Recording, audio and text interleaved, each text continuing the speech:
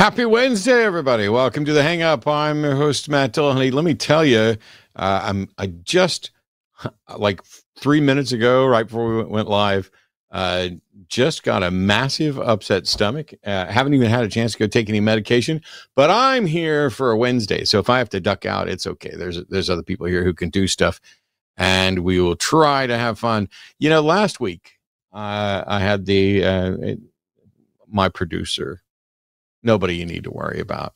But uh, I had her on the show and we talked a little bit about transphobic stuff. Um, and I mentioned at the outset of last week's show that it would be very nice if someone like Dawkins had used this opportunity to talk about climate change or something like that instead of trans issues. And there are there's a bunch of science news items and I don't keep up with them the way I used to. I remember when I was a kid, um, it was uh, a, a, different world where you didn't have the internet to to feed you information, and so things were a little slower. And when you got your news about scientific uh, findings, they had already been through some academic rigor, and the process of reporting on them was more matter of fact. Now, it, had its problems as well. Um, my era is why we started seeing commercials with people in lab coats because you're going to trust the person in lab coat. And we built up a kind of, um, oh, what does science say?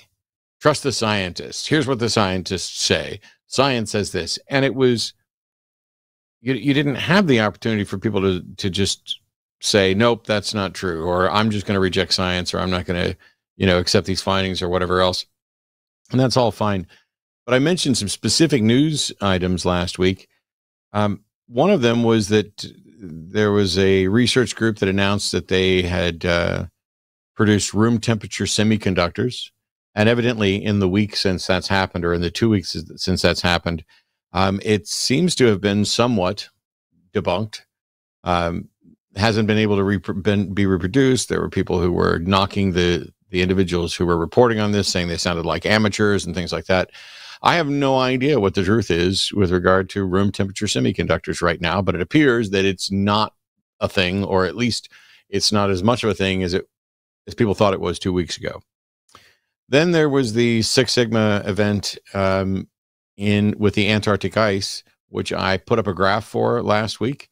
Um, because I'm lazy and haven't done anything else, I would imagine I probably still, yeah, I still have that exact same graph. Look, I can put this up. This is the daily standard deviations for Antarctic sea ice from 1989 through 2023. All of the blue and the grays represent all of the plotted um, variation for this particular uh, day of the year, which uh, this was a week or so or two weeks ago and they plot out the median of all those at, at zero and then show how this one deviates by six standard deviations uh, 6.4 actually. And that is a particularly terrifying prospect because this is the winter when that antarctic sea ice is supposed to be refreezing and we don't know the full impact of what it's going to do. Um, i saw some some reporting that we may have learned more uh, from this incident about how to pretend how to potentially uh, combat climate change, but haven't heard much about it. Uh, I saw a news article today that Mars is spinning faster. I don't know what that means, and I feel like th- that we have access to more information now than ever. We know more about reality than we ever have our scientific information now is better than it was 40 years ago when I was a uh, a teenager, really starting to get into to science then. And yet we feel stupider.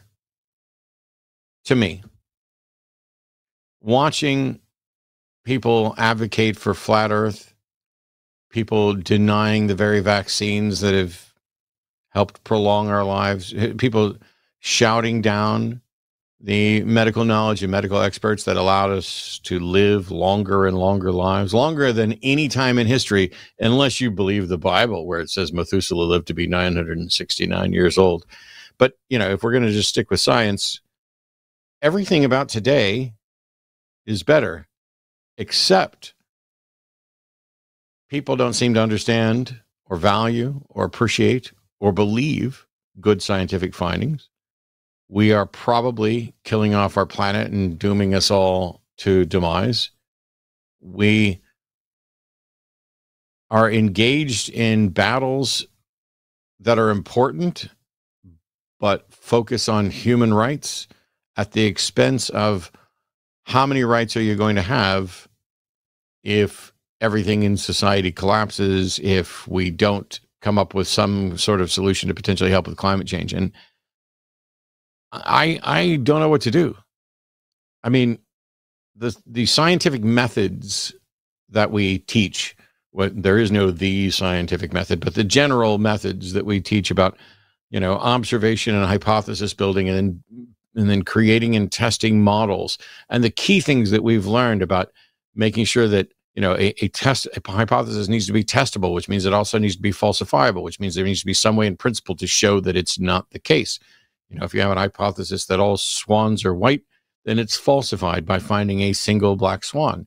And now your hypothesis, even if it's unsupported um, at the outset, is in principle falsifiable. We have lost some scientific rigor. I'm not saying we've lost the rigor in in the um, research process, but it, and maybe not even in the peer review, although it feels like that on occasion, but definitely in the reporting. We have more science popularizers now than ever, and we have great ones. Um, Dawkins did great work for many years popularizing and educating people on scientific things, both with his books and with TV shows.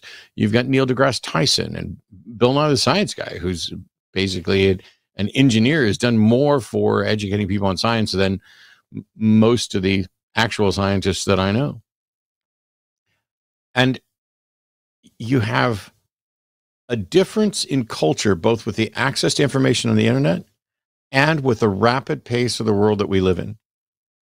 Because what's happening is we're on a 24 hour news cycle. We have to do everything we can to get the most clicks, to get the earliest clicks, to get people to click. And it's easy to bait people to engage and, and call out topics, but not on science. Science, of, of all the accusations of fake news, news about science is often the most fake. And I don't mean that the people who are reporting on science are, are wrong or they're intentionally doing it uh, a disservice. This is the process. You have to make your headline sexy. You have to uh, make something that people want to click on. And saying Mars is spinning faster doesn't really do much. I mean, if we get almost no reporting on the Antarctic ice's Six Sigma deviation uh, from the mean, what hope do we have for any any science? I mean, this is something that would be huge, and I don't know enough ever on, let's say, any subject. But I thought it would be really good to bring in um, Forrest Valkai, also known as Renegade Science Teacher, to come in and talk about Hello. science and wear a lab coat so that it sounds and looks as official as possible and maybe we can figure out a little bit about what we need to do to do a better job of I, I guess I'm going to just come up with the, the threefold solution right here.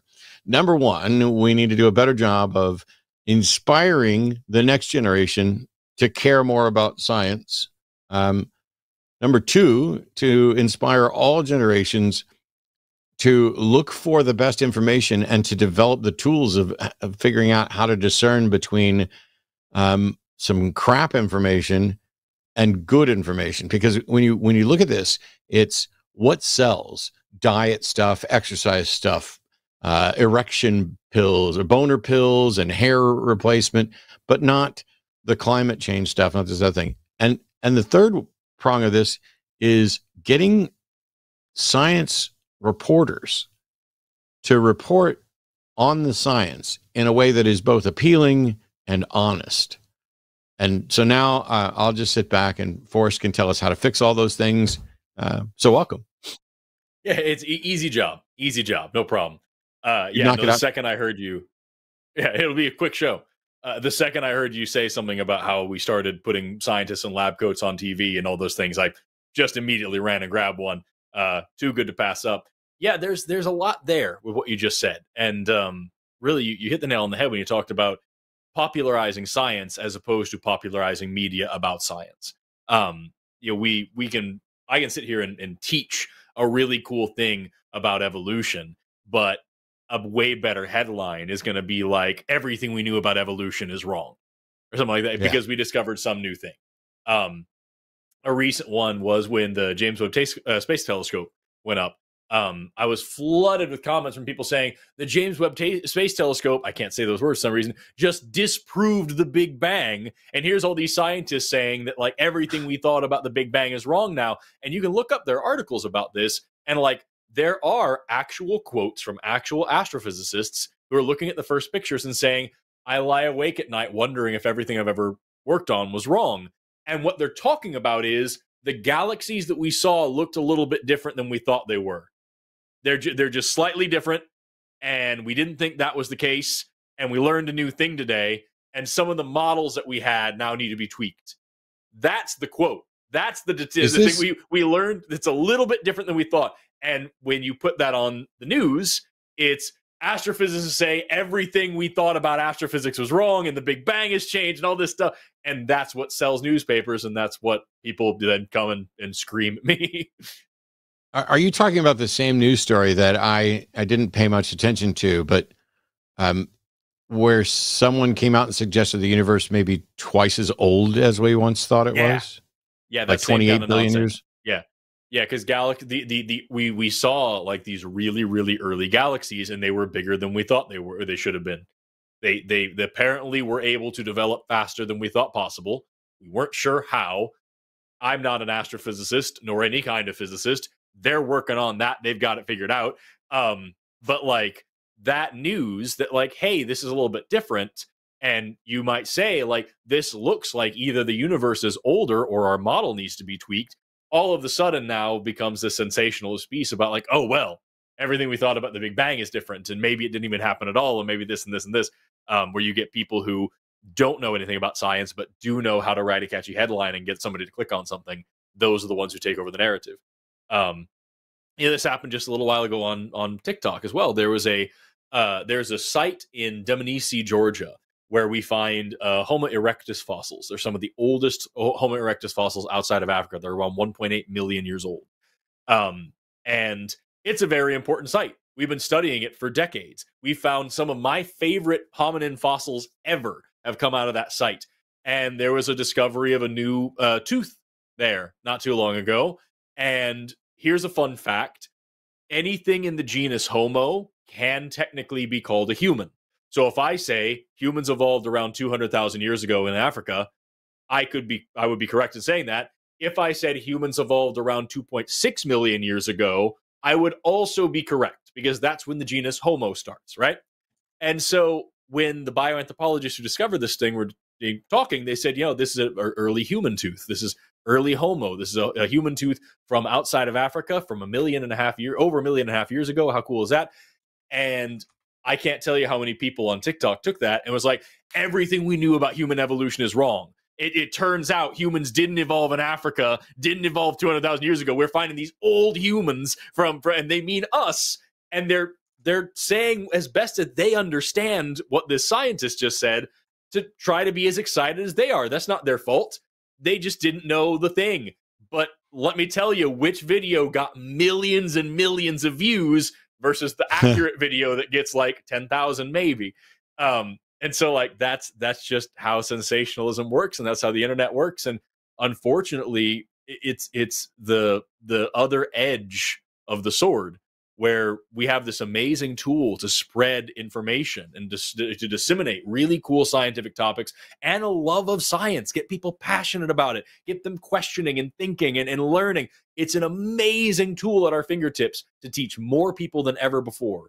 But the other side of that is, as you said, there's more science communicators than ever, and not all of them are great, and not all of them are scientists, and not all of them have been to school to learn this stuff, and they just say whatever feels good and whatever gets clicks, and that sucks do you have a memory? I mean, you're here, you're working in science stuff all the time. You're renegade science teacher.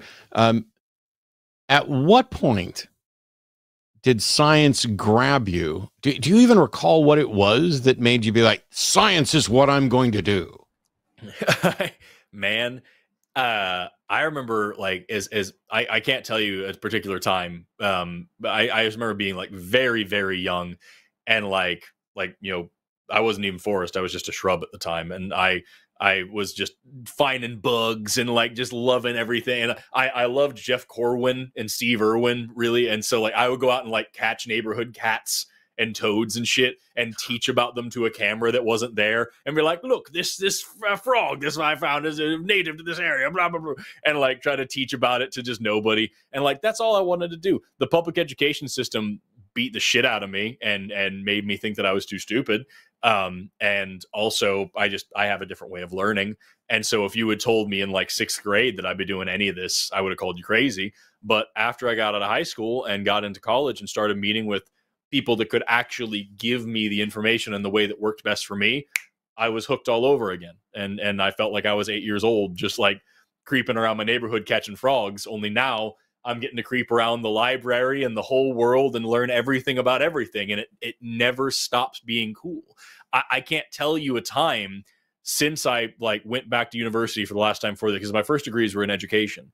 Um, but like since I started on the science path, like I can't tell you a time that I've been bored legitimately since then yeah. because there's always something to learn something to th- even if i have nothing to do i have something to think about i have something to look around me i'm like oh i wonder you know what kind of light waves are here and what kind of you know th- thinking about like the nature of electromagnetic radiation the nature of the fluid dynamics of the air around me thinking about what's going on in my own body the cells and, and what they're doing and what's happening the different layers and like whether i'm making good choices with my diet or like, like there's so much there um and like that's that's the wonderful beauty of it is that when you're doing science correctly when you're learning it appropriately, every single time you answer a question, you're going to have two or three more questions come out of it.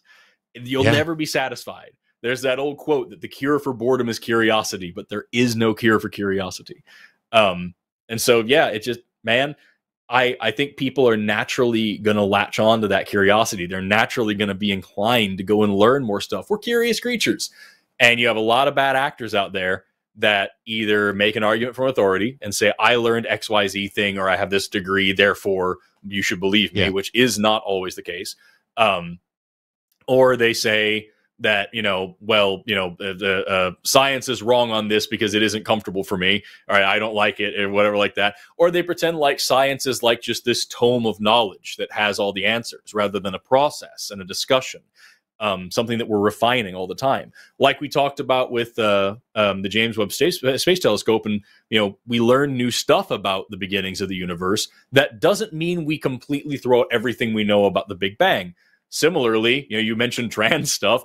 We've been learning new stuff about sex and gender for the past hundred years. That doesn't mean those things aren't important or that we throw them out. We just adapt to new information. Um, and on, uh, same thing with climate change that we we learned how that works. And now that unfortunately this has become yet another politicized topic where you can tell whether or not you know by who somebody voted for and by who what what news stations they watch whether or not they believe that science is real about this thing versus that thing. Right. uh, it's real weird. I tell you i i'm i'm not a scientist. Uh, i'm not formally educated in any science. And yet my my passion for science ha- has it's really I'm an obsessive learner.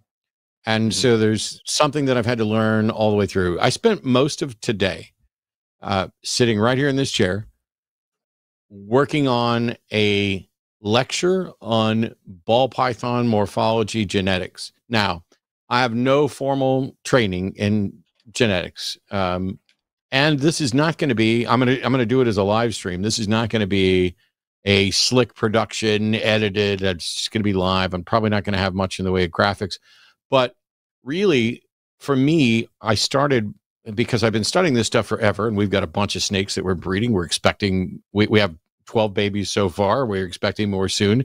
And, in addition to the to the ball pythons, we're also breeding uh, corn snake, house snake, womas, and crested geckos and other stuff, and and even our rats. And so I started making a list, and it was like, all right, how do I want to do this this talk? I, I want to do it from the standpoint of a breeder of hey, what's going on? Why why are we even doing this? Because here's a normal looking wild type uh, ball python that evolved over 70 million years or so. And it, it's gorgeous and it has quite a lot of uh, pattern variation and a little bit of color variation so that no two normals really look the same, just like no two people are going to look the same. And then mm-hmm. you compare that to something like uh, an albino, which technically should just be called amelanistic. But you, you compare it to that, and there are there are hundreds of identified um, ball python morphs define Woma. Woma python's an Australian python, Aspidites ramsayi. Um, somebody in chat. See, I can't not no, talk about you. this stuff. And yeah, so it's, cool. like, all right, let me make a list of terms. I need to be able to make sure people understand the difference between genotype and phenotype. Uh, I need a mm-hmm. good way of talking about the difference between heterozygosity and, and homozygosity.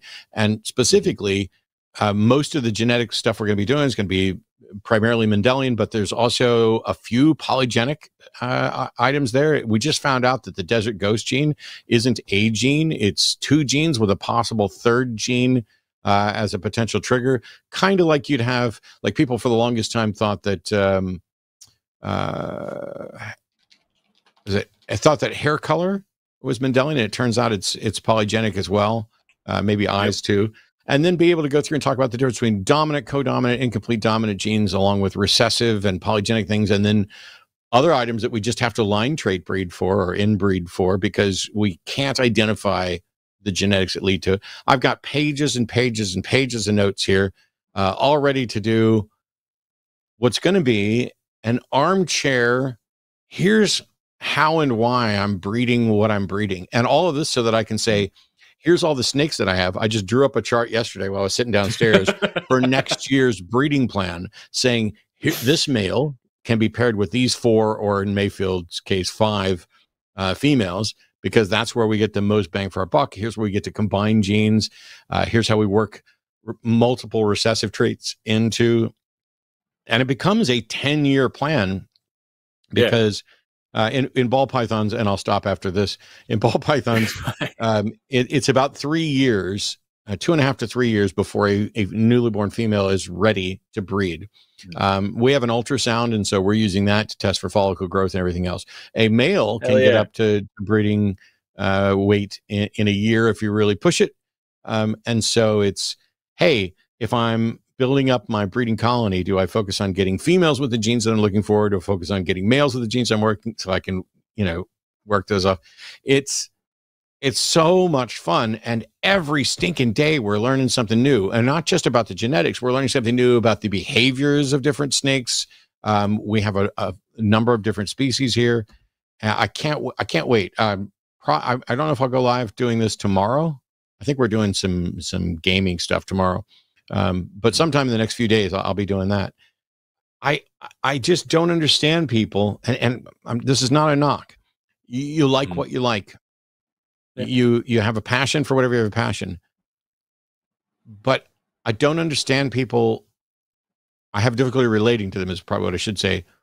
Who aren't curious, and who who can look at scientific news coming out about anything and just say, I don't understand that. I don't care. And then go on about their life.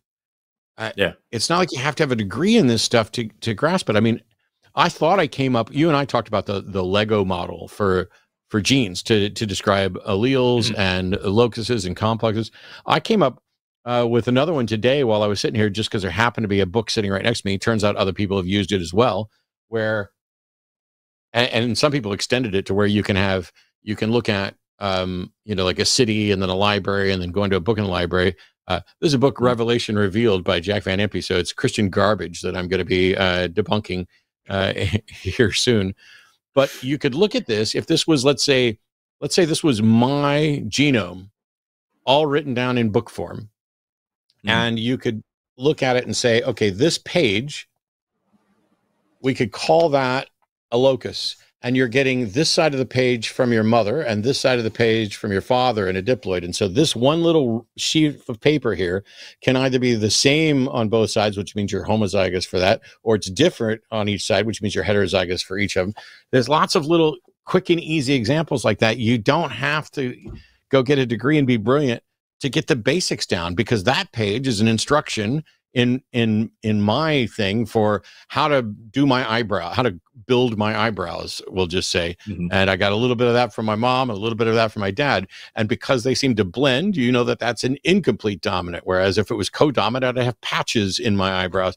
And it, I, i'm just having so much fun coming up with ways to explain this and people's apathy towards science while living at the most scientifically the advanced time ever just i mean boggles my mind Yeah, Carl Sagan talked about that. He said, you know, we live in a in an era that is increasingly dependent on science and technology, in which less and less people understand science and technology.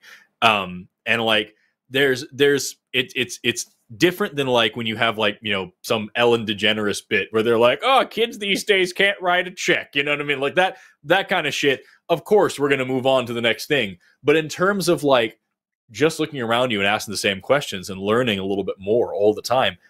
I don't get how anybody couldn't do that. And I think it's important like you you're talking about snakes this whole time and getting like geeked up about about genetics. I freaking love that because you were able to find something to attach that curiosity to. You know what I mean? You you found a mode for that. That's so important for so many people because if I were just to sit down, I guarantee if I were to sit down with you three or four years ago or whenever before you started getting interested in this hobby of snakes, like if I had sat down with you and just tried to explain that shit to you, you would have hated it because it's just fucking dry, boring nonsense. And like for me, I genuinely love that stuff, but I couldn't give half a shit about computers. But if you tried to explain a computing system to me in biology terms, I would be excited about it now because that's you know what I mean. And it's like that's half the point of teaching is finding a way to explain this that someone's actually going to pick up on it. Um, a great way, you know, my, uh, my favorite thing to do whenever I learn something new is I immediately teach it in my head to myself in like four different ways and i have an argument with myself about how do you know that how do you know that and how do you and i try to you know figure out like okay so how am i going to say this to a kindergartner how am i going to say this to a middle schooler how am i going Right. to say this to a high schooler how am i going to say this to a college student how would i say this to my peers how would i say this to some you know somebody above me how would i say and like by thinking about it that way not only do you learn it better but also i fucking love education and that's that's that's the point of it is i need to be able to express this in 15 different ways because i guarantee in a class of kids the the 15th way I say it, that's when the last kid will get it. Somebody will take that long, as I did as a kid.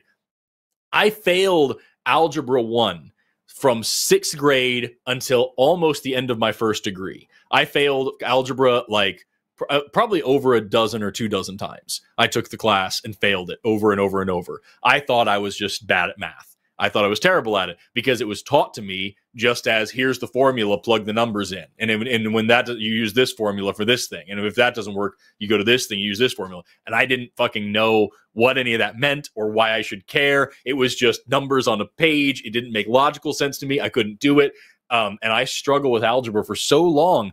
And then eventually, finally, at Tulsa Community College, there was a, a person who had a PhD in mathematics, and she was teaching a remedial algebra course. And I came to her after class and I was like, listen, I want to be a scientist so fucking bad, but I suck at math. I don't think about the world this way. I think about it in like terms of processes and like putting a puzzle together. It's not just plugging in numbers. And everybody just keeps telling me to just plug in numbers. And I don't know why. Like, I don't, I want the process. I want to know what's happening. And she sat down with me for an hour and explained to me the derivations of where those formulas came from why is slope what it is? Well, let's talk about it. Let's actually put it on a graph and then say, all right, so x2 minus x1 over y2 minus y1, what does that actually mean? Where are those numbers going? Why is y equals mx plus b what it is? You know, just like these basic things and showing me the numbers went here and they did that. Suddenly, math was a language, it was a process to me. And yeah. from there, I went on to take extra math into like pre-calculus and calculus and statistics and shit that I didn't need because it's so cool now. And I've gone yes. back and like taught remedial math at high schools for like workshops and shit because it's awesome. And like it's just I had a different way of learning. My brain didn't work the way that they wanted it to. And that happens so often. So like it, it, it kills me anytime if if if you watching this ever think that you're bad at math or science, I promise you if you have the time to say that, then you're clearly curious enough to be asking the questions and you're not getting the answers you want. Your brain just works differently. Find a better teacher. Find a better way to learn this stuff because you can. It's so cool and it's for everybody. And despite what people might tell you, science is not like this thing up on a high shelf that you need to like earn your right to learn and understand. Science is all around you all the time waiting for you to find it. And the dictionary definition of a scientist is any person who is studying or has expert knowledge in any of the natural or physical sciences, is studying or has expert knowledge the degrees that I've achieved don't make me a scientist. I have several science degrees, not a bit of them matter. I'm working on research at this moment, doesn't matter. I'm about to publish some shit, doesn't matter. What makes me a scientist and what makes you one too is if you're studying this shit and you're using the scientific method and you're taking it seriously and you're actually being passionately curious about the universe around you. If you question everything, assume nothing, and follow the evidence no matter where it leads, you're a goddamn scientist and you should treat yourself like one. On and that is my soapbox and for the day. I, yeah, I've had a passion for. I wanted to start breeding snakes back in the early to mid uh, 90s, and so I had some interest in in genetics, but a lot of it didn't really matter. I didn't need to know much because you don't have to know much about the genetics. You just know, hey, I'm going to take this male and this female and pair them, and I'm going to get something out of it. But yeah. being able to know what you're likely to get and what to what to compare, and I have to go when I when I go to teach this, I'm going to be teaching uh, about. Um, gene complexes, like for example the superstripe mm-hmm. complex, which is, which consists of yellow belly, spark, specter, uh, asphalt, and gravel. And because all of these uh, are allelic, you can only ever have two of them. And depending on which two you put together, you can either get, for example, uh, if you have two copies of yellow belly, you'll get a super yellow belly, which is an almost white snake, or, or basically it's called an ivory. But if you have mm. yellow belly and gravel, um, that's a highway, and yellow belly and asphalt is a freeway, and they have completely different looks than any of them do indiv- individually. And it doesn't look as you'd expect for like an, an, an incomplete dom merging or a co-dom. This anyway. The point is, if I, I, I just pulled up Wikipedia just for fun. Here, mm. let me teach you guys about alleles from Wikipedia. An allele modern formation from Greek, is a variation of the same sequence of nucleotides at the same place on a long DNA molecule as described in leading textbooks on genetics and evolution. The word is short for allelomorph. The chromosomal or geno- genomic location of a gene or any other gen- genetic element is called a locus, and alternative DNA sequences at a locus are called alleles. If you are not prepared, none of that made any sense. If you've looked mm-hmm. into this at all, it's get back to the to the page. Basically, at some all, all a chromosome is is a bunch of genes uh, as part of a, a, DNA sequence, and then the individual genes that are there are is a long stretch of DNA, not just one point of DNA, a long stretch of DNA that's located at a specific spot on the DNA strand. None of that matters because all you really need to know to get started is that you have genes, as do other living things, and variations in what we see are attributed to different versions of those genes, and all an allele is is the name for a different version of a gene that would be at the same location. And that's there, what there Wikipedia are some. It's just difficult. Yeah, there there are some biologists out there. As a, a friend of mine is he uh, teaches evolutionary biology at Michigan State, and I was talking to him about um, the Light of Evolution series that I was writing before I published it, and he brought up the point that like there are several of his colleagues that don't even use the word gene anymore because mm. allele is just the thing that like because if I just say genes, then like what the fuck did you actually say? Allele is a little bit more specific about like you're talking about which flavor of which type of which thing. And like that's not to say that we should all change our language, but like that's kind of just like the way that that particular group of scientists were going. Um, and that's the thing, man, is that like that's that's the nature of science. When you actually get into it, it's it's a discussion and it's something that we're doing actively. You we can agree on all the information and have a disagreement on how to interpret that information and what to do with that information. My favorite definition you know, we, we talk about the word theory quite a bit um you know that, that it's it's not just a guess or hypothesis or whatever. And you know i yeah. consider to explain what a theory actually is but my favorite definition of the word theory came from matthew johnson who's an archaeologist and he said a theory is putting facts in order. You have the facts depending on what order you put them in, you get a different story, you get a different picture. You know what I mean? And so, like, that's why we have different competing ideas in upper level sciences.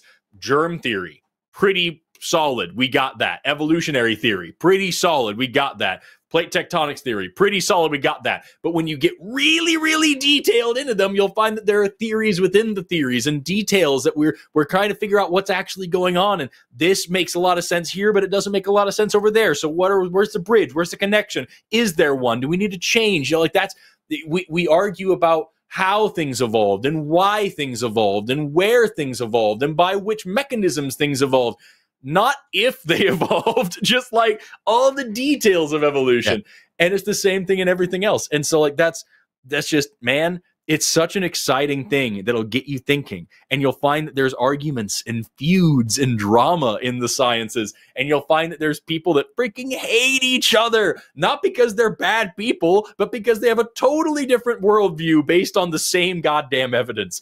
Um, and like that's the coolest thing about it. So like just I don't know, man. It, it just, just if if anybody takes anything away from this today, I hope you remember anybody can be a scientist. That doesn't mean you're a good one. Anybody can be a mechanic. A, mechanic is a person who is studying or knows how to fix a car. If your mechanic tells you to put Cheerios in your gas tank to make your car run faster, they may yet still be a mechanic. They're just a bad mechanic. Uh, eh, but so anybody can be a scientist if they want to be. They just have to start learning and start trying and go do the thing. It's a job, not a tattoo. Um, and also that that the universe is every bit as interesting and exciting at the upper levels of education as it is at the beginning of it. If you're doing it right, it doesn't get any less boring. It only gets more exciting, more fun. Um, yeah, I, I there are so many things not just scientific knowledge, but like personal things, things about me that develop me as a person, political ideologies. Like there's so many things that I have picked up, put down, leaned into, or cast away over the course of my education. There, the, fucking, you've heard me rant about how much I hate capitalism. I wouldn't have said any of that shit before probably my fourth college degree because like that's when I started learning this stuff was it during my fifth, and like that's it's just that's so when you much had paid enough than. to be able to say that this is bullshit, right? Exactly. Yeah. Um, but that's that's when I was exposed to new ideas about that particular thing. And like that's the coolest thing about education is that, that that's the point.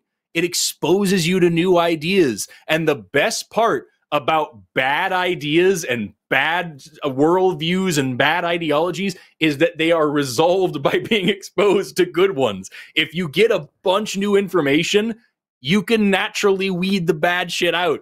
It's just I don't know, man. That's that's my whole thing. I, I, got a, I got announcements to make, and then we're going to start taking calls. But one thing, we have a show, uh, don't we? yeah, yeah, yeah. I, I mean, you and I can get all stuff over. Here. So let, let me let me wrap up this thing here. By the way, um, one of my favorite definitions of evolution is change in allele frequency over time. But if you don't know what an allele is and you don't understand what that means, then that just sounds like blah blah blah blah blah. And and all it means is the definition sucks, you, by the way. It does suck. Yeah. But in any case, what it what it what it's talking about is alleles are different versions of genes, and so the wild type ball python allele is the one that is out there in the wild. But then there's an albino or an amelanistic one, um, and that's a different allele. And the wild type is incredibly frequent, and the albino one is not. And there's and evolution is about figuring out why that is the case and it's because the natural selective pressures of an albino snake um, make it less likely to survive. It's easier to see. It's more uh, sensitive to sunlight, and these things live in Africa under termite mounds and things like that. Um, and so while it's probably not the best definition of, of evolution, if it's one you've heard and you're just like, I don't know what that means because I'm not keen on it, all it is is it means how do populations change? Um, and, and, and I see why it's it, will be par- partially bad because it, it's focused a little bit on on phenotypical stuff. Uh, well, there, there's the two issues that I have with it are well, three, two, two. The two issues I have with it is that number one, uh, evolution cares about pheno- phenotype, not genotype. And we always talk about allele frequencies, which we fucking should. No problem there. But oftentimes, students who hear that for the first time think that your DNA is the only thing determining your evolution. No, it's your expression of the DNA that's important. Um, and also, it's the definition you said is over time time is it's successive generations. If one animal lives for hundred years, it isn't evolving. It's it's how many generations in the hundred. You know what I mean? It's geological so, like, scales of time. Right. And so, like, I, but again, that leads or to nearly. the misconception where people are like, well, my tomato plant hasn't produced watermelons yet, so it's not evolving. And it's like, no, that's not how that works.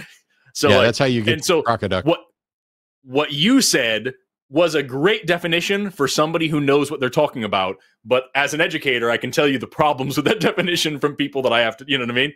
So, like, the the definition of evolution that I always give, the one that's in in all my textbooks, is any change in the heritable characteristics of a population over the course of multiple generations, which sounds way more fucking complex, right? But it's any change at all doesn't have to be a good one, gets rid of orthogenesis. Any change in the heritable characteristics doesn't necessarily have to be strictly genetic, can be epigenetic, can be, you know, whatever. It's anything that's passed on paired offspring over the course of multiple generations. Doesn't matter about the time scale, just the generation scale. So, like, that's the way that I use. Um, and I encourage everybody to try that one out for size and see if it feels good. But somebody in chat said I, I followed them on TikTok, and while it's not impossible because I did launch TikTok just the other day, I've looked at TikTok once in the last six months, maybe. Uh, so you might have been followed by somebody else that's not me. Uh, real quick and announcements. First of all, yes. you guys are watching. What's that? I was going to say he only opens TikTok to watch my channel. That's true.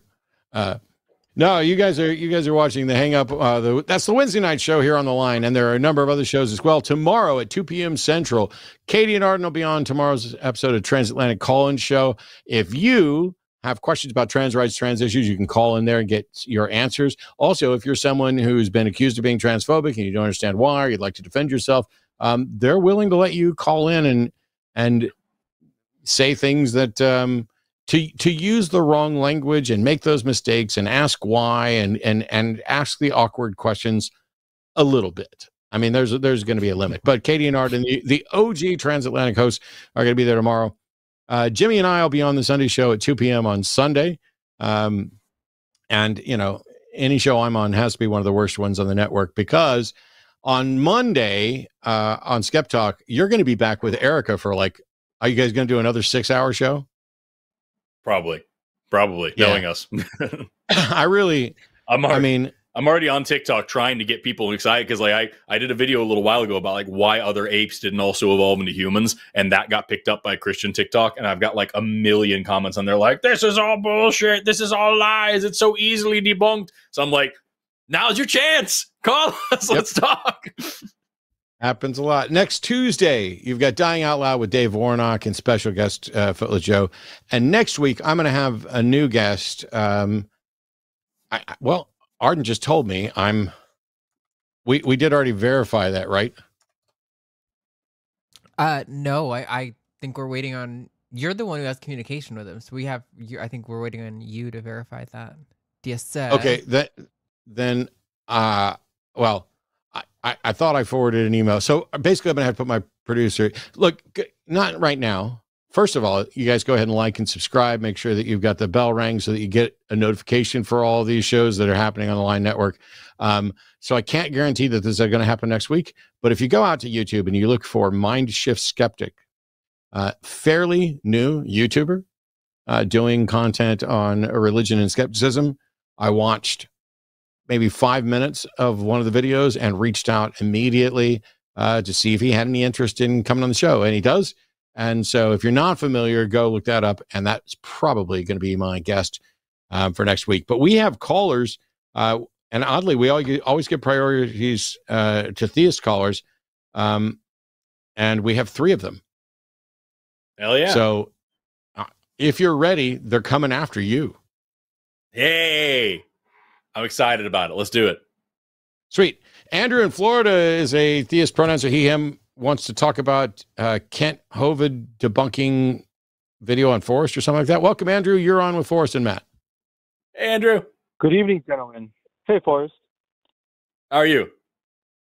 Awesome. Yeah, uh, I saw a video from a scientist debunking you. Um, or he made a video de- trying to debunk you. Hmm Yeah, yeah. Kent Uh, Hovind. Yeah. Yeah, uh, but he's a scientist, so that's why it's confusing. Uh, Mhm. He said uh, he he said that the eye is too. It, he he said you he said you said that design just because there's poor designs that proves that there, there's no God or something like that. And he said just because Yeah. it's a poor design doesn't mean it's not designed. God can make Mhm. a poor design. It's still a, des- a design still requires a designer. Um, and one more thing he said, I kind of wrote it down on my notes here. Oh yeah, de- design demands a designer, and he, he quoted Charles Darwin. He said to Mhm. suppose that the eye could have been formed by natural selection seems, I freely confess, absurd in the highest degree. Um, he was quoting Charles Darwin there. The origin of species by means of natural selection, uh, 1859, page 217. Yep. So I just want to I've read the book. Uh, so Yeah. a couple of things there. Number one, yeah, Kent Hovind, uh, strictly speaking, can call himself a scientist the same way that literally anybody can. Um, doesn't mean that he's a good one, and that's that's what I was talking about a little while ago. Kent Hovind uh, deliberately misrepresents science and and teaches it in a bad way in order to push his ideology of creationism, which isn't supported by evidence. Real science is backed by evidence. Real science demands skepticism. Kent Hovind preaches dogma, which is patently unscientific. So, sure, he can call himself a scientist. He's a bad scientist. Um, the other thing here, if I can find, uh, uh, there's a couple things. Number one, I never said that bad design proves that there is no God. That would be a really dumb argument. Uh, I was responding to another creationist who was saying that you know their their body is so perfectly designed that that proves God, and I was just showing there's a lot of really stupid design choices in the human body that, if we evolved, make perfect sense. But if we were expertly designed by some grand designer, that would be a really dumb thing for that designer to do. Uh, I'm looking up the last thing here because I want to find I, I can go get my copy of Origin of Species, but it's going to be a little bit of a walk to the other room and all that stuff. So I just want to find the actual oh my glob Origin of Species PDF. Let me see if I can just find a full copy online here. There we go. Um, and we can go through here and search for uh absurd uh to the highest degree i believe is the actual word uh highest degree mm, i'm sorry i i i normally would have this right here possible highest degree oh my god he used this term quite a bit the well i guess i can find it eventually uh if, do you have a copy of origin of species on you just out of curiosity Uh, I do not. I just got it from the from the video where he posted it up on the Yeah. screenshotted it. Okay i'm gonna look for just one second i'm really sorry to waste your time i just want to make sure i read this properly so just give me one second please It's okay. I got the quote. Accuracy first. well i just want to make sure i have the the whole thing here in front of me because i just want to make sure i've got it um here we go I got it. Perfect. Sorry about the wait. I, I apologize. I just want to make sure I had the actual text in front of me. So I wasn't just saying this. I could actually read it and you wouldn't just have to take my word for it. Um, so you're right. Darwin did write this. This to suppose that the eye, with all its imitable contrivances for adjusting the focus of different distances, for emitting different amounts of light, for the correction of spherical and chromatic aberration, could have been formed by natural selection, seems, I freely confess, absurd in the highest possible degree. The very next sentence in the book is Yet, reason tells me that if numerous gradations from a perfect and complex eye uh, uh, to one very imperfect and simple, each grade being useful to its possessor can be shown to exist, which they can be, by the way, if further the eye does vary ever so slightly, and the variations can be inherited, which is certainly the case. And if any variation or modification in the organ would be ever useful to an animal under changing conditions of life, which is also true, then the difficulty of believing that a perfect and complex eye could have been formed by natural selection, though insuperable by our imagination, can hardly be considered real. So, what Darwin said in The Origin of Species wasn't, I admit it makes no sense to say that the eye evolved. What he said was, I understand that this sounds pretty freaking crazy. But if you really think about it, and if you look at the evidence in front of us, it hardly seems reasonable for you to say that this doesn't make any sense. That's the actual quote. He was being intellectually honest and saying, here's a potential problem with my theory that people might point out, and here's the solution which actually comports with reality. And this is more demonstration what I said at the beginning. This is why Kent Hovind is a bad scientist. If he had actually read the damn book, or even just the next sentence of the book, he would have seen that that isn't at all what Darwin was talking about. And what Darwin said stands up to reason today. Darwin got some stuff wrong. There was a lot that he didn't know. His book was 200 years old now. We've learned a lot since then. This was one of the things that he got very right. And for Kent Hovind to sit here and say that I'm not right, that I'm a bad scientist, that I don't know something about the universe because somebody in a 200 year old book said something that he agrees with that was only half of a quote. That's just being patently dishonest. That's that's what we call lying in the biological world. So there's my answer to that. Uh, I haven't made many uh, responses to Kent Hovind's video, um, mainly because I don't want to give him too much screen time, uh, and also because I genuinely have a hard time caring what he thinks of me. I have a rule that I don't take advice from anybody that I wouldn't also take criticism from. So like I just I don't know, or or vice versa. I don't take criticism from anybody that I wouldn't take advice from. I certainly would not take either advice or criticism from him. So like that's kind of where I'm at with it. Uh I hope that answers your question. Do you have another one? Um he's like the creationist guru. Uh, so yeah, no, no, no. I would disagree. There, there are better creationists, and that's saying something. Yeah. Creationism isn't even a theory. Uh, it's it's just it's it's a really really bad attempt at explaining the natural world.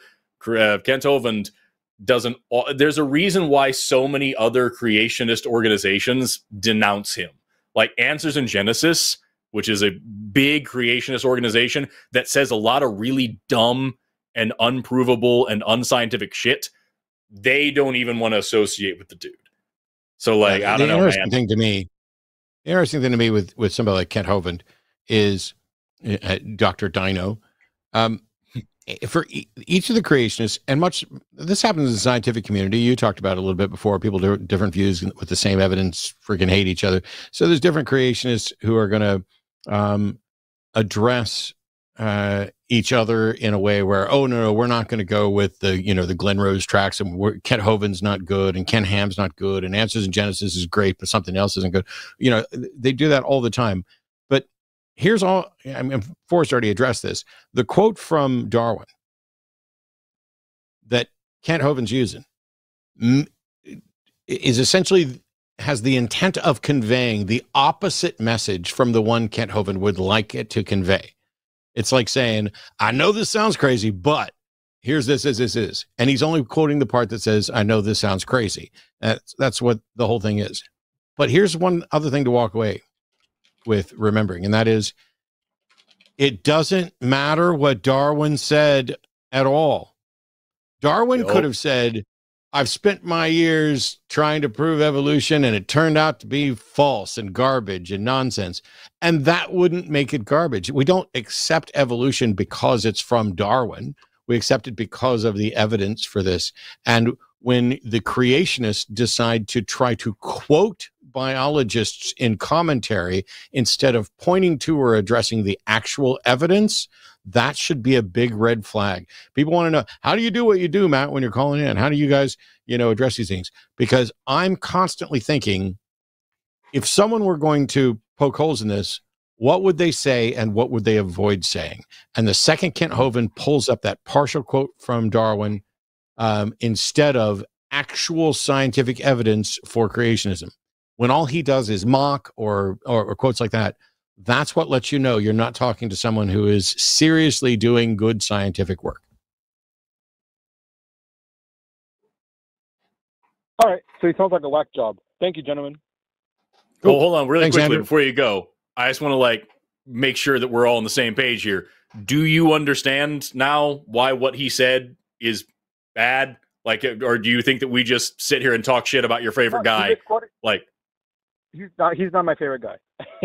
Okay, just- okay. I just want to make sure. a Scientist, so it was, confusing. No, he's not my favorite guy. and no, no. Okay. Yeah, he misquoted. It was, it was dishonest. No, I, I, I agree. And it makes sense. Cool. Thank Okay. Yeah. I just want to make sure because we we get a lot of people who call in and they'll say like, "Oh, well, Kent Hovind said this," and we're like, "Who gives a shit?" And they're like, "Well, I'm gonna go tell him." I just want to make sure that we're we're up to date. You know what I mean? it's not like that. Yeah, at all. if somebody, if somebody want, yeah, thanks, Andrew. I appreciate it. Um, Thanks so much, sir. if somebody wants to go tell Kent Hovind um, that I just said he was a shitty scientist who lies by misquoting Darwin about something that he's completely wrong about and that wouldn't matter even if he was right, go right ahead. I wouldn't have any issue with that either. It's it like, and that's the thing is like, it's it's it's so fucking. It's demonst. It, it it shows where his line of thinking is. Well, I can see your your your Messiah here, this Darwin guy. I can make him say something bad. Right. Like, why would that matter? Even if that were true, to, to to even say that shows that you're coming from this weird dogmatic place that makes no fucking sense. It's it's why I struggle so hard when you know when I'm talking about evolution or when I'm talking about this when you come up against someone who you know has is trapped in that dogmatic thinking they genuinely can't understand that you looked at the evidence and came up with a different idea it's like well my god said this the person i worship said this so if you say something different then who did you worship to tell you to say something different than me it's like nobody i promise Yeah. nobody It, it It's- comes it's up a bad lot time, in the man. it comes up a lot in the in the debating thing where I have opponents who spend more time preparing for me than for the subject, and it shows every Yeah. time. Um, but yeah we got more callers. there was this really go with, cool uh, uh, okay i'm sorry oh. go ahead yeah I've got Gary in Pennsylvania, pronouns are he, him. Uh, Gary is a theist who doesn't uh, believe evolution. So, welcome, Gary. You're on with Forrest. hello Thanks, thanks so much. Hey, hello. I love science, and I really want to hear this this uh, uh, answer from you. Um, righteous I- yeah let's do it. Is I- i- Is, Not- is it possible you could speak up a bit or adjust your microphone? I'm having a hard time hearing you. Is it is it better now? Is it better now? A little yes bit. So, so my question is this: uh, First of all, some of those people that you mentioned, the Hogan guy and, and many others, they don't even truly understand their own Bible interpretation. Not that I'm knocking them; it's just that they're part of a church organization, and so they're stuck in tradition, as opposed to you know studying on their own. So they're just cookie cutter answers. Um, and all churches are dead, by the way, all of them. But um, I- I'm, Where- where I'm really going. confused. I, I'm really confused because, it, you know, you're, you're calling in to talk about evolution, but but instead you're saying that Kent Hovind is essentially trapped in a church and all churches are dead. Well, I don't know that that's true. Um, nor does it matter. that's a whole other discussion Gotcha. I thought you'd agree with that, but anyways. Um, I, I have no idea what you mean by it, but it's, it's I would love to talk about evolution though. I don't think Sure. Kent Hovind is trapped in a particular church. I think Kent Hovind is a church unto himself. Gotcha. So, in terms of DNA continually mutating over time, Mm. DNA continually mutates. So, the term evolution is a natural process. So, my question is I'm a creationist, but when Mm. someone says they believe in evolution, evolution is natural part of the creation process. So, how, how do I figure this out? I I don't understand what question you're asking me. Are you are you saying that you believe that evolution is a part of the way that the creator made life the way that it is today and therefore both evolution and creationism are true at the same time or or are you saying that they're incompatible? I don't understand what you mean. I, I, from my understanding, DNA continually mutates. So in order in order to prove creationism, which you're looking for evidence, if if I believe in creation and someone tells me, look at the mutations in DNA to prove that evolution is true, DNA naturally mutates. So how does somebody Right. prove to me something that that continually happens? That's why I think for, for me personally as a creationist, I cannot espouse evolution because I believe in evolution. Does that make sense? No, No. but I can try to help. So, were, were, were you listening to the beginning of the show where Matt and I were geeking out about biology for a long time? I missed that. Please go ahead.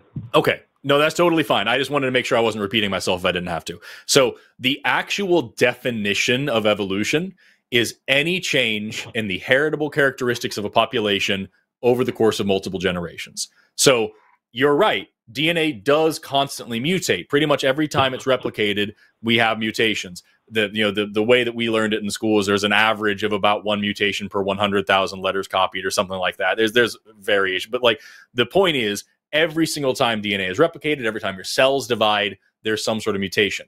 That has nothing to do with evolution. The mutations in your germ cells, in your sperm and egg cells that are passed on to offspring, that has to do with evolution because now you have offspring that are genetically unique, that are distinct from their parents. So take you know uh, multiple parents out of it. Let's just talk about clonal evolution. Talk about just something that that reproduces um, asexually, like a bacteria or something.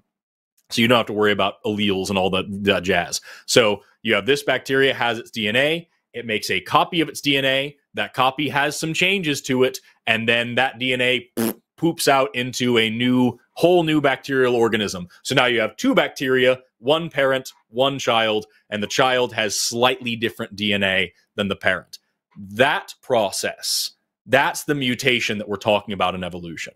So over the course of successive generations, after you know generation after generation after generation, child, child, child, child, child, the great, great, great, great, great, great, great, great ten thousand times great grandchild is going to have significantly different DNA than the original, right?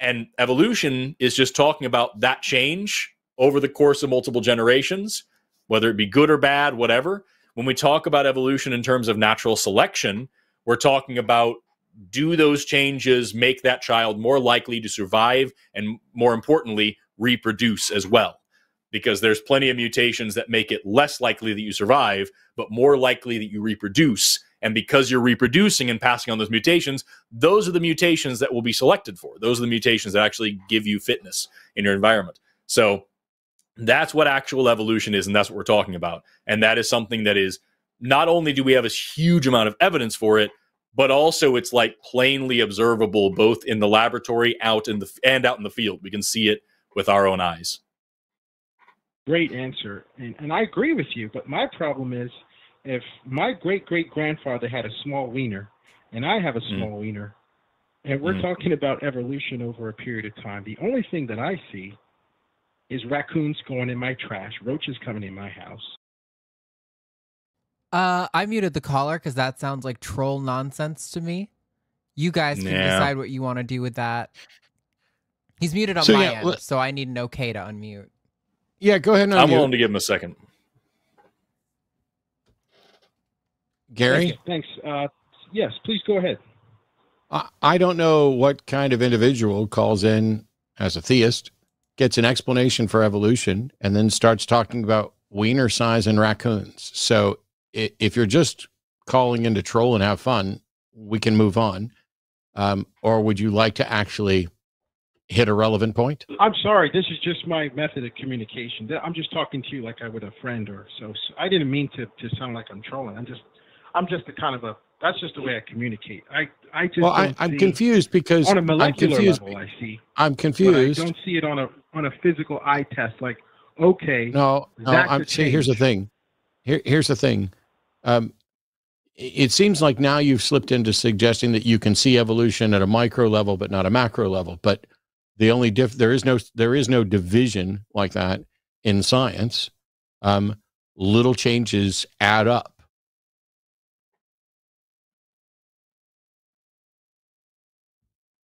well said. Well, well, thanks. I I, I don't think I'm going to get my answer, but you guys. Yeah, I don't think you're good. I don't think you're worth talking to. Thank you so much.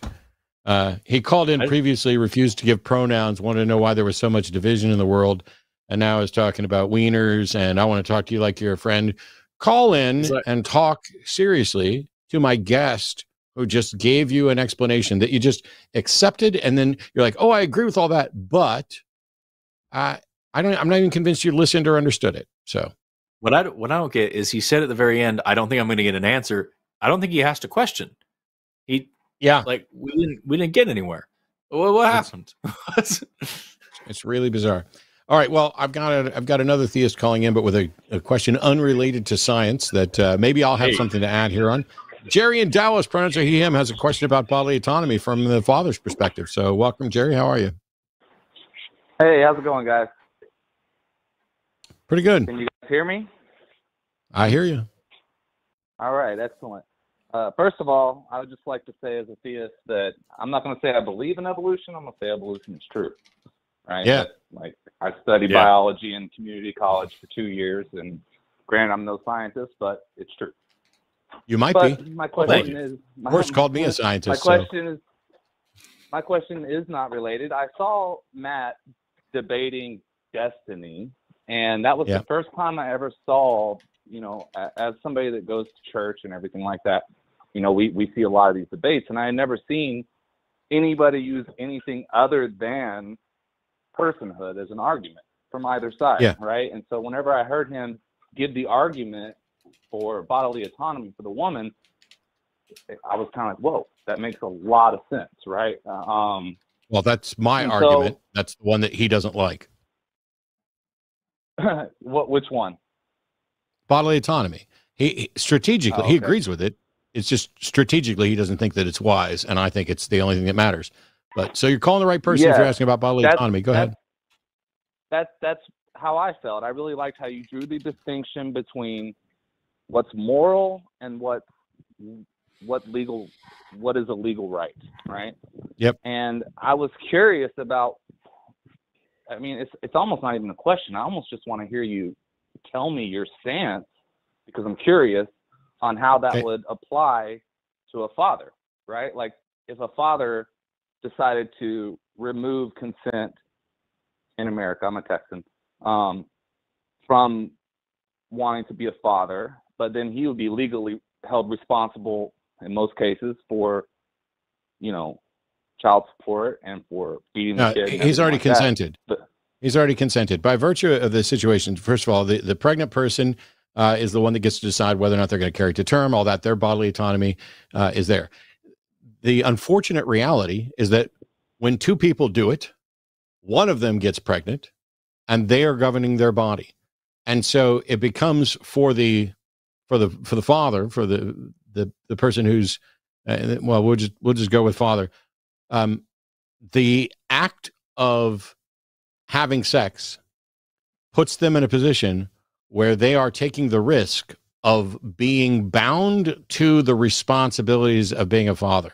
It's kind of a if you can't do the time, don't do the crime thing because you are consenting at the time that you're having sex to saying, if this results in a pregnancy, I acknowledge that I am now tied to this uh, and that the other individual is the one that's going to decide whether or not they they keep it or have an abortion but i am now giving my consent to them for whatever happens afterwards and it's just the unfortunate reality i mean you you don't get a say in it i mean like if i went out and i got in my car and i drove down the street um, i'm not consenting to being in an accident but i am consenting to the consequences if an accident occurs I don't get to say, well, now that we've had an accident, I'm going to withdraw my consent and I'm not going to call my insurance company and do that. It's too late at that point. So legally, I, I agree. The the hard part for for any kind of follow up is that I agree with a lot of what you said about not just now, but in the debate about the woman have having in a way ability to remove consent because of what she must put her body No. through over the next nine months, right? No, no, no. So the, the person who ends up pregnant consented to the risk Mhm. of pregnancy knowing that they would have an option to in, terminate the pregnancy or carry it to term. That's that that is their choice. Um, the other person, when they consented to sex, Does not have. did so knowing that they wouldn't have a say in that. Now, they, they may be granted a say. For example, um, when my ex-wife was trying to get pregnant, uh, we were we were in on it together, and so because you know we're we, we were partnered and everything else, I would have had a say. But at the end of it, uh, it's her body, her choice at the end, and I went into that knowing it. And anybody who's concerned about oh my gosh, if I go out and have sex, I could end up, um, you know, making child support payments for the next 18 years. Yes, that's what you consent to, the potential risk of that when you go out and engage in sex. So you got to take all the precautions you can.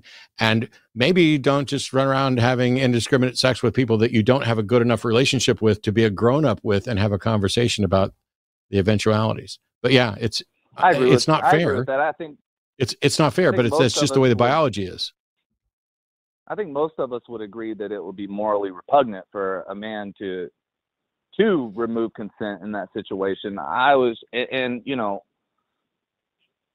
I understand that it is that is the way that the legal system stands now. But a lot of the times we're talking about the way the legal system should be, or what the legal right should be Sure. in a more perfect society. And you know, obviously with what's happened over the past year or so with you know the Supreme Court, um, some of those rights have been taken away from a woman and are from people who give birth, and um, you know they- it shouldn't be that way according to this stance, and it is. So her legal right in this argument would be that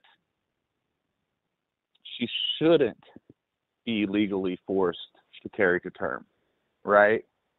Do you Yes. feel that Because That- that violates bodily autonomy. legally yes yes so do you feel like legally the way that those child support laws are for fathers should remain the way that they are or in other Yes. words that that is yes. correct by Yes. bodily autonomy okay okay Yes. Until such time as well- we enter until such time as we we change the way the biology of reproduction works.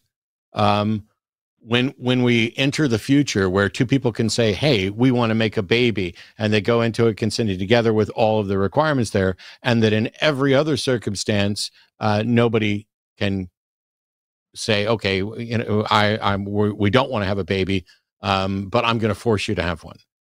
That you know, until we change the way the biology works, it unfairly puts one person into a position for nine months, if not 18 years. And both people have to go into it knowing that that's a potential. And, and I hear all these people Yeah. worrying about it. I'm, and this is me probably being a little glib, Jerry.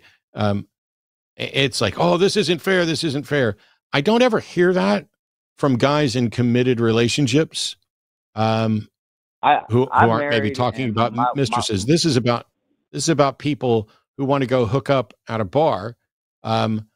I, I've had sex with plenty of women, and I've had hookups, and I've never wound up being a father. Um, Yeah. but I, It could have happened. I'm married, and my wife and I are, are attempting to have children using science because we're older, right? And so, Yeah. I, I, um, I'm asking more from an intellectual curiosity, philo- philosophical curiosity standpoint, where I just found that standpoint unique, and I was curious how you guys felt about it on the other foot, if if the father would would be afforded the same because uh, I don't know. I'm not a debater, so for me, I was thinking, well, the guy has to then consent to go give his body to the workforce, right? And a lot of jobs that anybody does in the world are dangerous to a certain extent, right? And you consent to that. um, yeah, I see what you're saying. I do see what you're saying. So, um, but that's that's where I was coming from it. Uh, is from more of just intellectual curiosity. In, So, in, in a sense trying to find a loophole. I'm not complaining. I would No, love it's to fine. be a father. So it, it- it's fine. What what I will say to to kind of to wrap this up um, is, Sure. do I wish that it could be different? Sure, Um, I wish a lot of things about the harshness of reality and how it's unfair uh, towards a number of different individuals. I wish that could be a lot different. And I think that learning science and working uh, on ways to improve and change some of this stuff can fundamentally change the problems that we're we're dealing with. Um, there, you know, a, a, child can sue to be emancipated from their parents, and in some cases, um, the father um, can and and the mother can both forfeit uh, give up their parental rights. And in that case the you know the child goes up to adoption or becomes a ward of the state things like that. Um, it's just as it stands right now until something changes the person who's going to be stuck pregnant is the one that, the one that's that that matters in the decision of what they're going to do with regard to their body and if any any dude out there doesn't want to wind up paying 18 years of child support then exercise do the, the, the, or don't do the caution. Yeah, don't do the crime. And Yeah. make, make sure that you're talking with Yeah. your partner, that you're taking all the Yeah. precautions, that you guys are on the same page and you're being responsible. I- anyway, Can I ask a quick follow up on sure. on that? Um, what about and again, man, any trans friend that ever asked me to call them by any pronoun, boy. I'm going to do it. Right? Like I, I want to do it. I want to Cool. respect what they ask. But with that said, in some countries like Canada, and again, this is just hypothetical, philosophical. I'm curious where you stand. If you'll be put in jail for misgendering somebody, you're not, going to be put in jail. jerk. It, that's not true, Jerry. You're not going to be put in jail for misgendering someone in Canada. That's just not true. I, I thought that was the whole debacle from what people were saying is that they were. No, that's the nonsense that Jordan I Peterson spread around a that nobody ever proposed. There's a lot of stuff Yeah. on the internet that that you know we're fed these days, you guys. So Yeah. well, let's Yeah. just say then not naive in that. Would would would you say that any conspe- compelled speech by law would violate bodily autonomy? Sure. Yes. I mean, that I'm I'm sure that as quickly as I'm willing to say yes, compelled speech would violate bodily autonomy. I'm sure that we could find some sort of exception, but uh, generally speaking, um, I'm opposed to hate speech laws, even though I find some some good in them. Uh, adding an extra penalty for that, anything that tries to compel um, thought or speech.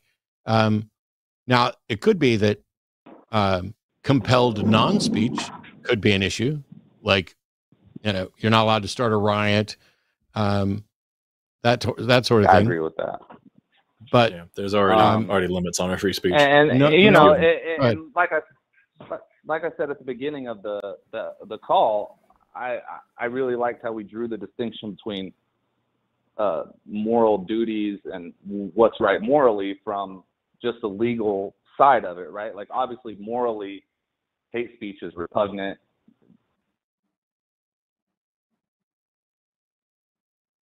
well i guess we lost jerry Oh shit!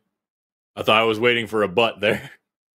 Yeah, it's like mid-sentence still shows him on i'm gonna refresh Okay. All right. Sorry we Yeah, lost you I think- jerry i don't know if that's a, uh problem on your end or end. Um so yeah this this thing about compelled speech um so first of all with regard to people's preferred names or pronouns you can at least in the united states and perhaps most other places you can call someone whatever name you want and use whatever pronouns you want.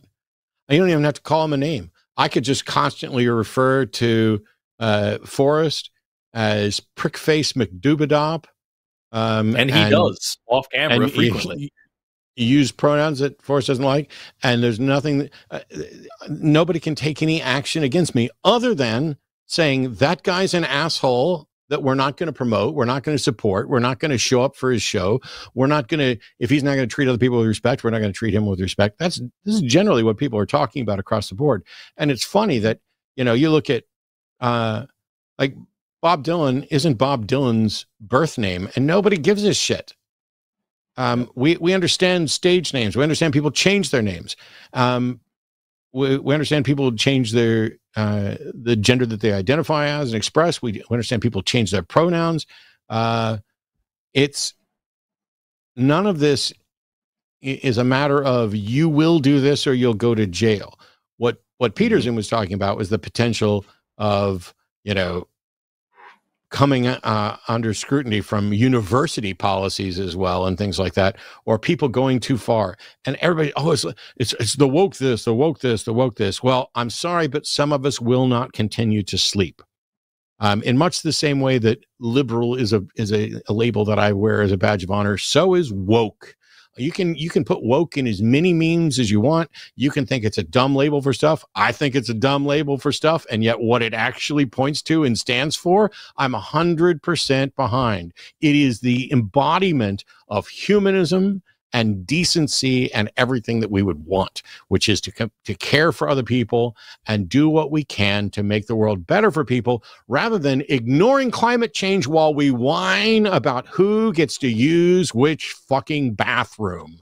I'm, I I saw somebody the other day uh complaining that they had nightmares because they they were on the swim team with Lia Thomas and and it's just oh my gosh I'm, I might have had to see a penis. Well, that's not Lia's fault. And it may not even be the individual who's having nightmares fault. It may be the fault of the society that gave someone so much baggage that they assumed that anyone uh, that they want to just sum somebody up by their genitalia. Oh you're a Mm. penis haver therefore you are a threat. Well hang on. You're in there changing with probably i'm going to guess some lesbians who are, are are checking you out too.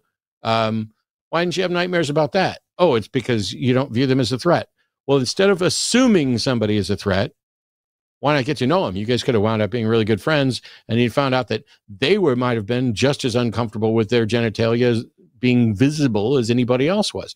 And there may be lots of different changes that we could make to policies to make it easier for everybody to work together, but you don't sideline an entire group of people. And I wasn't even going to talk about trans stuff today. What, what gets Damn me it. the most about that whole thing is when people talk about like, first of all, it is always and only trans women that we argue about with bathroom Yes. things. It's like, oh my god, these people, they're it's going to be a man who puts on a dress and goes in the women's bathroom to go be a predator.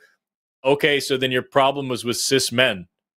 Yeah. It, that that's always what the actual problem is. You're actually concerned about cis men being creepy and using trans people as a vehicle to do that. And so you're using trans people as a scapegoat and taking out your frustrations and fears on them, on an already marginalized group, to uh, try to dissuade your fear about cis men. Say you do say you have to use your sex assigned at birth, and that's your actual bathroom. And so now all the trans women have to use the male bathroom, and all the trans we, uh, women, uh, men have to use the female bathroom. Okay, the same cis man who you were worried about before now can just walk into the woman's bathroom without dressing up and just say they're a trans man and they're still in the damn bathroom. It, it's you've now created the same scenario, only stupider. Like I don't it, ju- just let people shit, man. It's a it's an animal shit house. Why are you this concerned? Oh my god, it, it drives me up a wall, dude. Really, uh, It- it's crazy. Really frustrating. Let me. Uh, w- There's we a got lot like of things five there. Five calls, including a couple from theists. Uh, let me just rattle off the announcements one more time. We'll get right back to that. For sure. Tomorrow on the Transatlantic Call In Show, it's going to be Katy and Arden. On Sunday, to be me and Jimmy on the Sunday show. Both of those shows are at 2 p.m. Central. And uh, on Monday, Forrest will be back with Erica for what we suspect is going to be another six hour Skeptalk, all about And I won't remember the announcements one time for that whole show. Yes. We're, well, no, no. If Arden's producing, Arden will be politely reminding you from the back poking.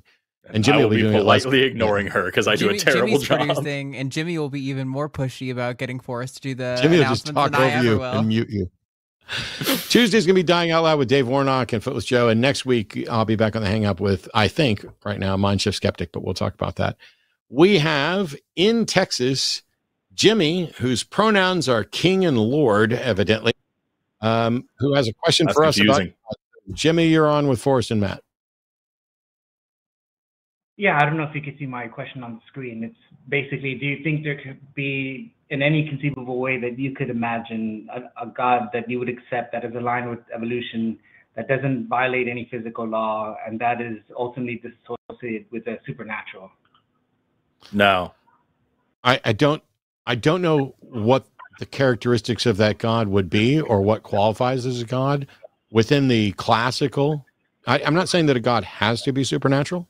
Um, it, it's I would need a definition of, of what that entity is and why it's justified to consider it a God.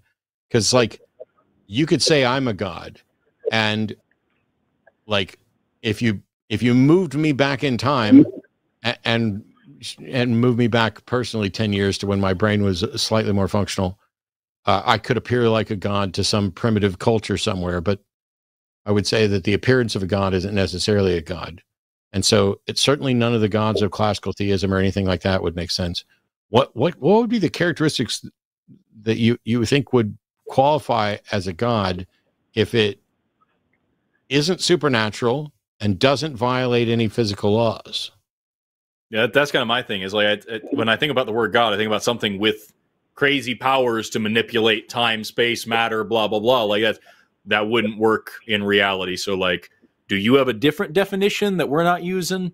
Yeah, I do, uh, because that, that was my issue last time when I spoke to Forrest, is that he seemed to automatically assume that God should be something that is supernatural.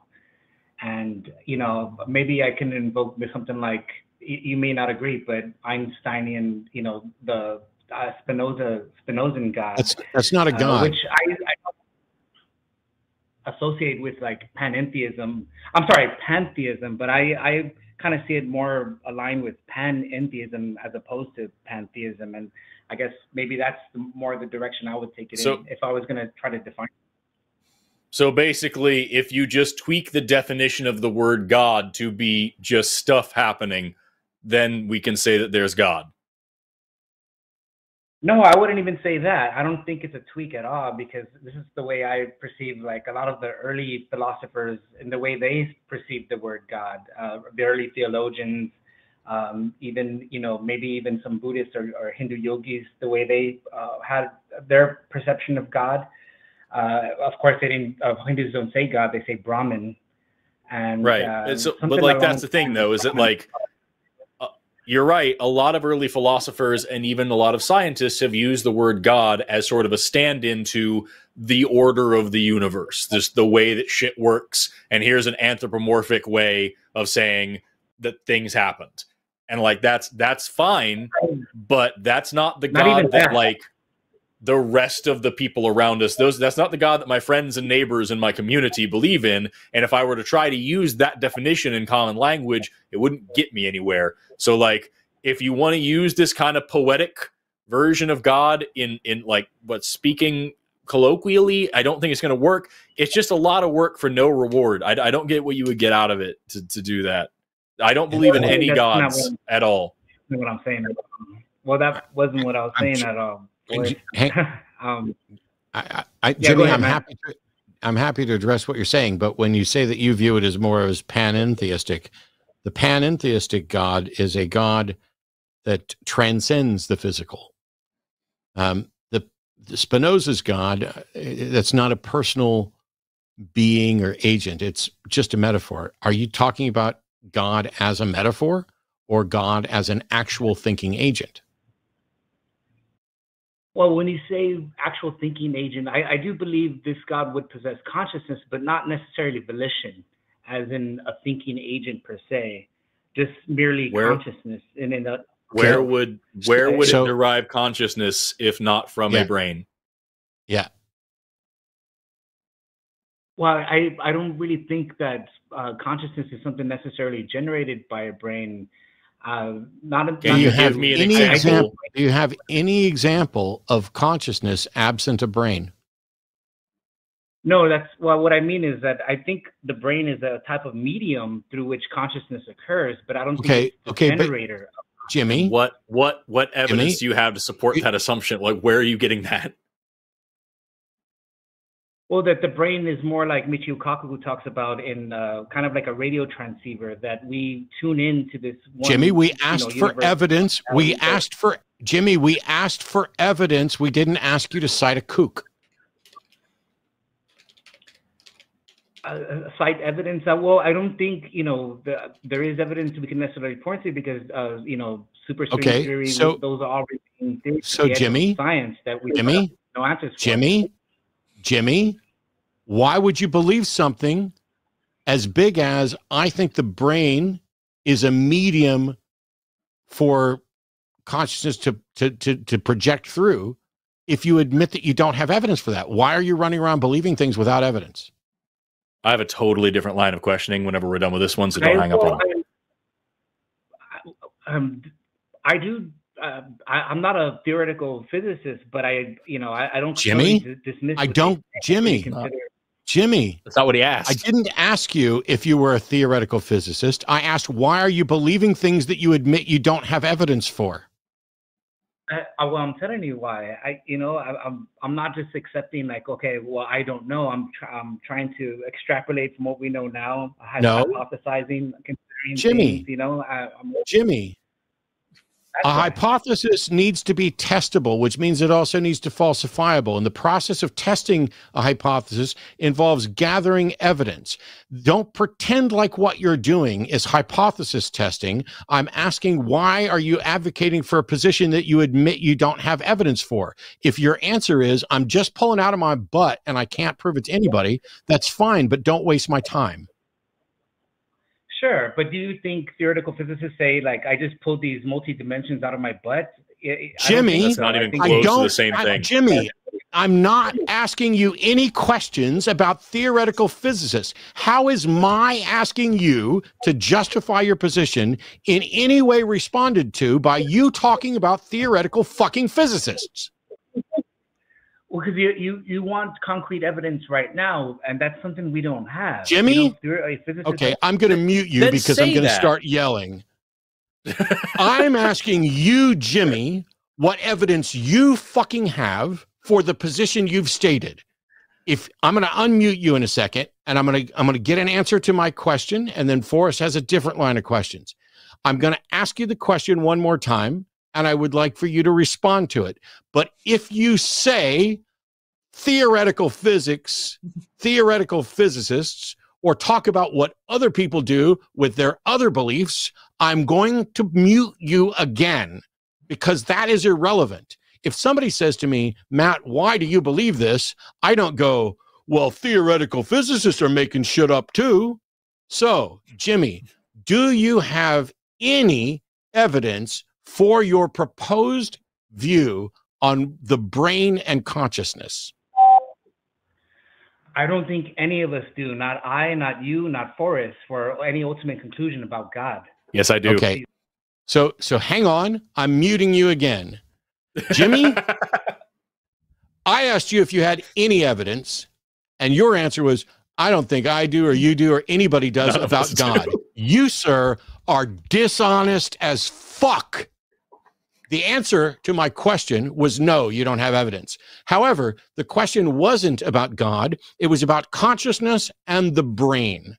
And whether or not I or Forrest have evidence for our positions or not is a separate issue. I'm going to unmute you and I'm going to let Forrest ask his line of questions. But I get, I, I tell you this right now if you do not pay attention and answer the question that's asked and behave honestly, I will drop this call because I have no more patience for your time wasting crap. Go ahead, Forrest. Uh, so it's really quick. Two things. Number one, I just want to point out that consciousness is the realm of neuroscience. So, like, I'm sure lots of theoretical physicists have lots of ideas about it. It's a thing that neuroscientists are studying, and they have a lot of cool ideas about it. And not a single neuroscientist I've ever even heard of would argue that consciousness is some sort of field that your brain is able to tap into. It's pretty obviously a function of the brain. We're, we don't know the very most fundamental parts of it yet but we don't know the very most fundamental parts of lots of things. And just because uh, if we didn't know how the Earth was formed, that wouldn't be a reason for us to say that plate tectonics might be some like ethereal magical thing being guided through the universe, being transmitted through the Earth. Like it, that's silly. Do you see why that's silly? Well, neuroscience is uh, the neuroscience doesn't even have evidence that consciousness is even generated by the brain. There's no evidence for that in We- neuroscience. There's there's So a I ton of it. There's a ton of it. I- There's there's, there's a ton of very obvious evidence. Can you name one? Yeah, changes to the brain That- alter consciousness. That would be a good one. That's not one. I'm talking about a citation, something, you know, something legitimate. Well, I- I'm not going to pull up a citation for you here. We're just talking about evidence. I'm not going to Yeah, cite my ahead. sources because I'm not going to go dig time. into Google Scholar at this moment. I tell you, But I I tell you can what, tell you- fucker. We'll take as Wait, much time wait, as we want, and it starts by me I've- hanging up on your ass. I've Goodbye. got one more. Wait, wait, wait! Don't hang up on him yet. No, Yeah, is he still didn't. there? No. Damn it! Ah, I had one more thing I wanted to know. I wasn't interested in that line of questioning at all. I was I was gonna just throw I'm that out there because I was. It's okay. I hit my limit on the no, no, no. Give me evidence, and you take as much time as you want. Bullshit. Um, Like yeah, I'm gonna sit here and fucking go to Google Scholar and pull something up. Like that's not my it's not my job to do that for you. Is I'm not doing your homework. I'm telling you a line of evidence that I learned in neuroscience class in college that we talked about that exact thing. So like, sorry, take it up with them. Uh no, I wanted to talk to him about pronouns because his pronouns were king and lord. And I wanted to ask like if he knew what pronouns were and what they're used for. That's what I wanted to do because I can't say he had a bunch of dumb arguments and and I didn't know how to talk to him. I would have to say King had a bunch of bad arguments and I didn't know how to talk to Lord. Why does that fucking make any sense to you, dude? Why would you like you have to be just deliberately just looking for a reason to be an asshole to give pronouns like that. And I wanted to know if you knew how grammar worked and you fucked it up. Ah, sad times. I did. I, I I wish I'd let you ask him about the pronouns, but honestly, um, this individual who decides that despite um, not having any scientific evidence for his proposition, thinks he's tapped in because of Michio Kaku uh, to the secret of how the brain works, and that it is Right. actually a conduit for something else, something he has no evidence for. Meanwhile, all of the available evidence shows that consciousness or thought is a product of the brain. Now, it could be more than that as well, but at a minimum, it is that.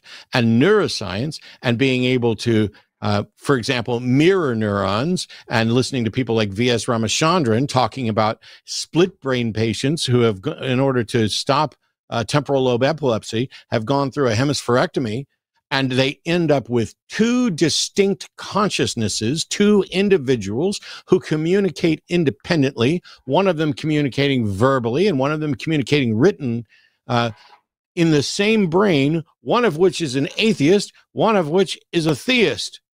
I know the exact I'm sorry you're talking about. that- I'm sorry that King Lord, the dipshit of Pronounville, is completely uninformed on the basics of neuroscience.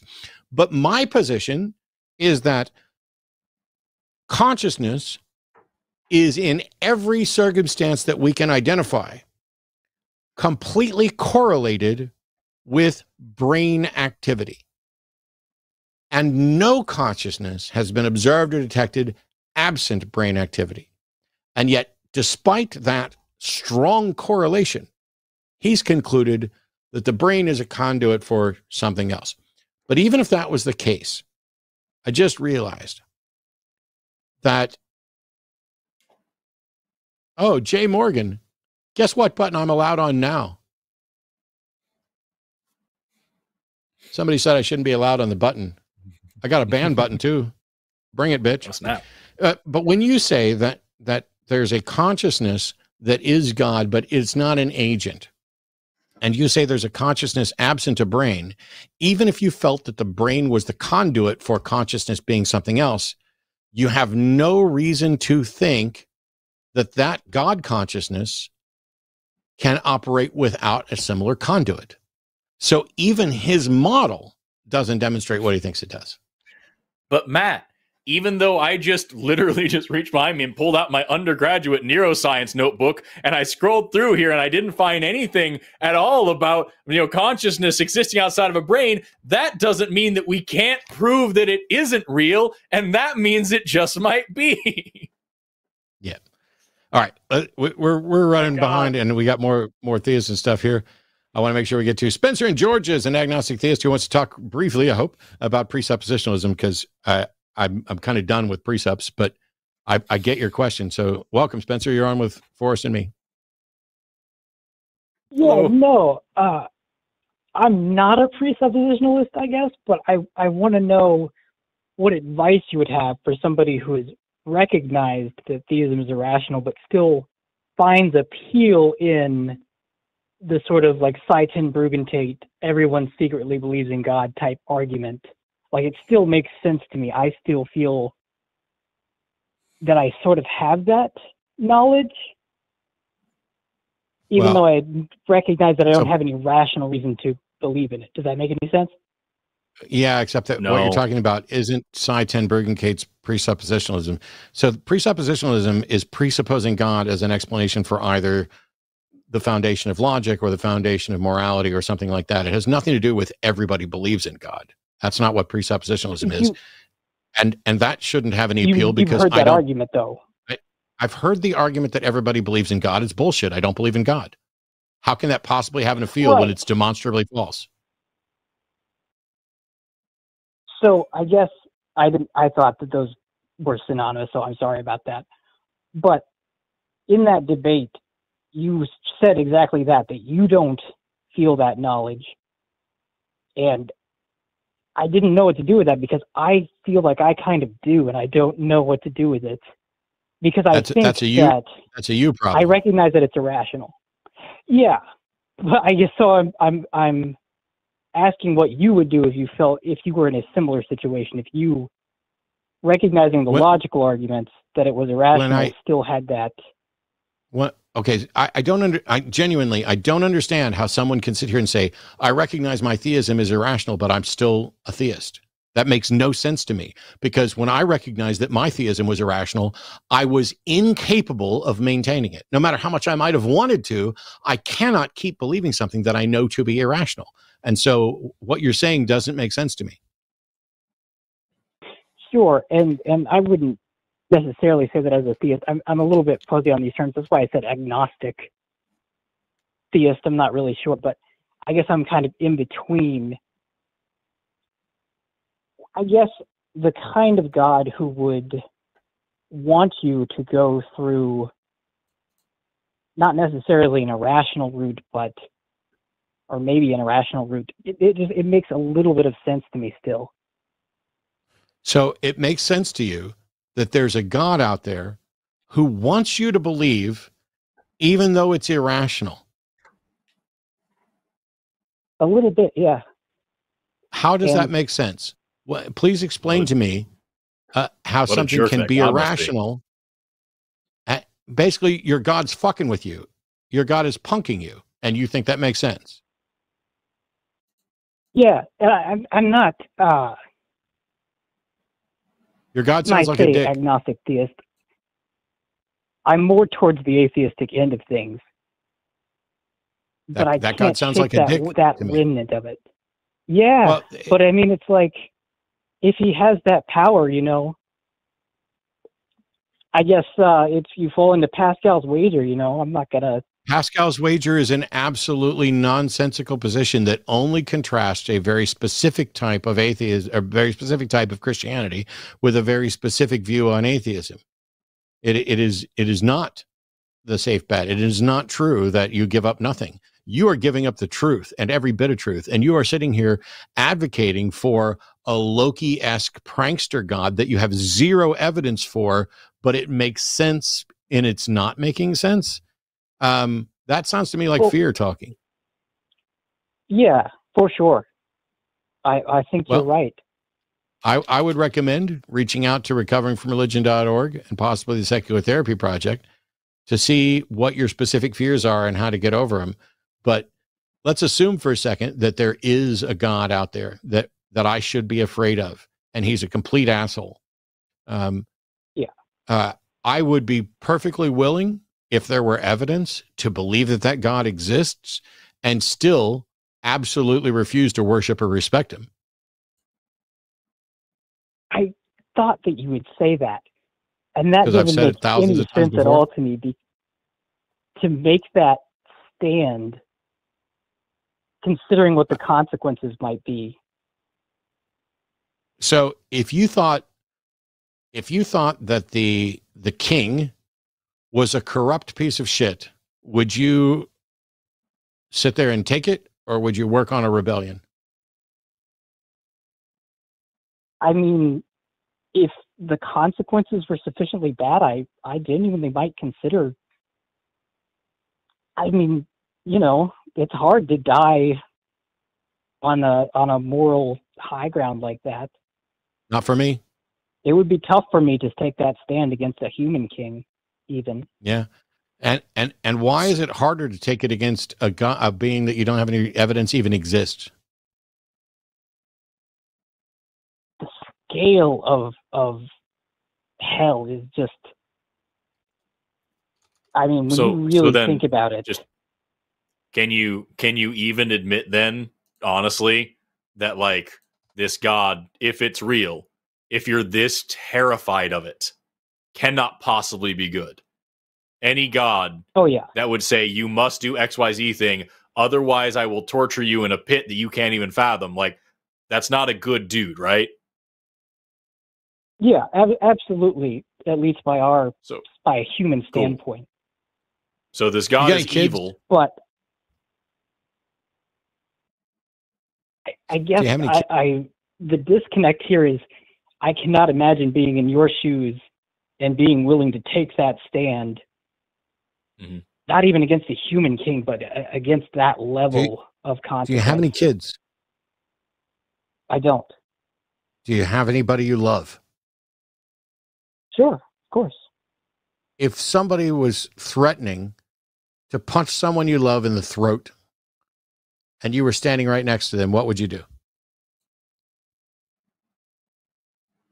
I I would definitely try to intervene, and I hope that I would do so, even if the consequences were deadly. If the consequences were deadly, though, I might not. I hope I would, but I What can't if- really speak to that. What if somebody said, what if somebody said they were praying to their magical friend to have that magical friend to punch your, your loved one in the throat? What would you do then? I guess I wouldn't do anything You, you wouldn't do anything. if they were just praying. Okay. I guess. Well, you what if you know their magical friend? I mean, are, are you saying you don't believe in their magical friend that's going to punch them in the throat because you were going to try and stop them if they did it, but you're not going to stop their magical friend? By magical friend, you mean the God? Sure, it's analogous to a god. Okay, okay. Uh, I mean, if they were praying, though, that doesn't necessarily, they're not commanding the God. So I would be okay with it because it would be. Okay, Spencer. I get, I give up. I give up. Um, whatever damage has been done to make you so fearful, um, it, it's really frustrating. So here's the thing: I've just gotten a No, I'm message. sorry. I, wrote No, down that I- Stop website. talking. Listen, listen. I've just now gotten a message from my magical friend who says he's going to come punch your your mom in her throat and slaughter her if you don't give me $500 right now.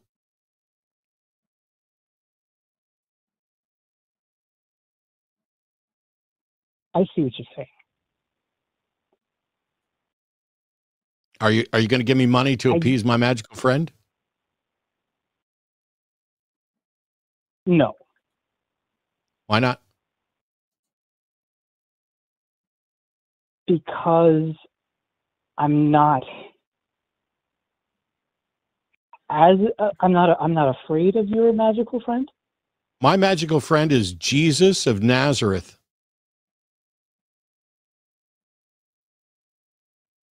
Are you afraid of my magical friend now? Yes, but I don't. Why? Well, I mean, because the things Jesus said about himself are Do you have any reason to think that Jesus existed or that you have a single word that you know that Jesus ever said? I will freely admit that I don't I don't have any rational Right. reason. And yet, and yet, me changing the name of my magical friend to Jesus of Nazareth fundamentally changed that. That is absolutely the indoctrination of fear. You don't have any more evidence for my magical friend being Jesus than before that. And yet, that one you're, you're afraid of. And that's something that's been done to you. And you need to reach out to an expert, not me, not Forrest, perhaps somebody from the Secular Therapy Project or Recovering from Religion, um, in order to get to grips with how you can not be afraid of things that aren't real. Okay. Um, well, I, I, I want to add one thing. I The I know that this has already been been beaten to death here, talking about you know this this you know it, I said it was a magical person and you said you didn't care, and then I said it was Jesus and you said you did care. At that point, you said the reason why you cared about Jesus was because of the things that Jesus said about himself. And Matt pointed out that you have no connection to this Jesus person. Satya Sai Baba uh, was born in uh, 1926, died in 2011. So there's a modern person. They were alive when you and I were both alive. Uh, this person had millions of followers, claimed to be the Messiah, uh, healed the sick, raised the dead, did all sorts of miraculous things. Um, this is a person who claimed many of the same things as Jesus and and even many more. As you can look up the miracles this guy is supposed to have performed and was alive at our time. What about this dude? Is this dude a concern of yours in any way? no, but and and I recognize that that's because I was not I- a part of that religion. I right, oh, but long that's what I wanted to like. Matt talked about just an ethereal magical friend, and you were able to dismiss it because it was just a whatever, right? But when you talked about Jesus, you Yeah. specifically said the things that Jesus said about himself, despite you having no connection, were what made it serious. So I figured rather than just having an ethereal, magical, hypothetical friend, here's a real dude that we can agree actually existed and said the same things. So, what's your criteria here?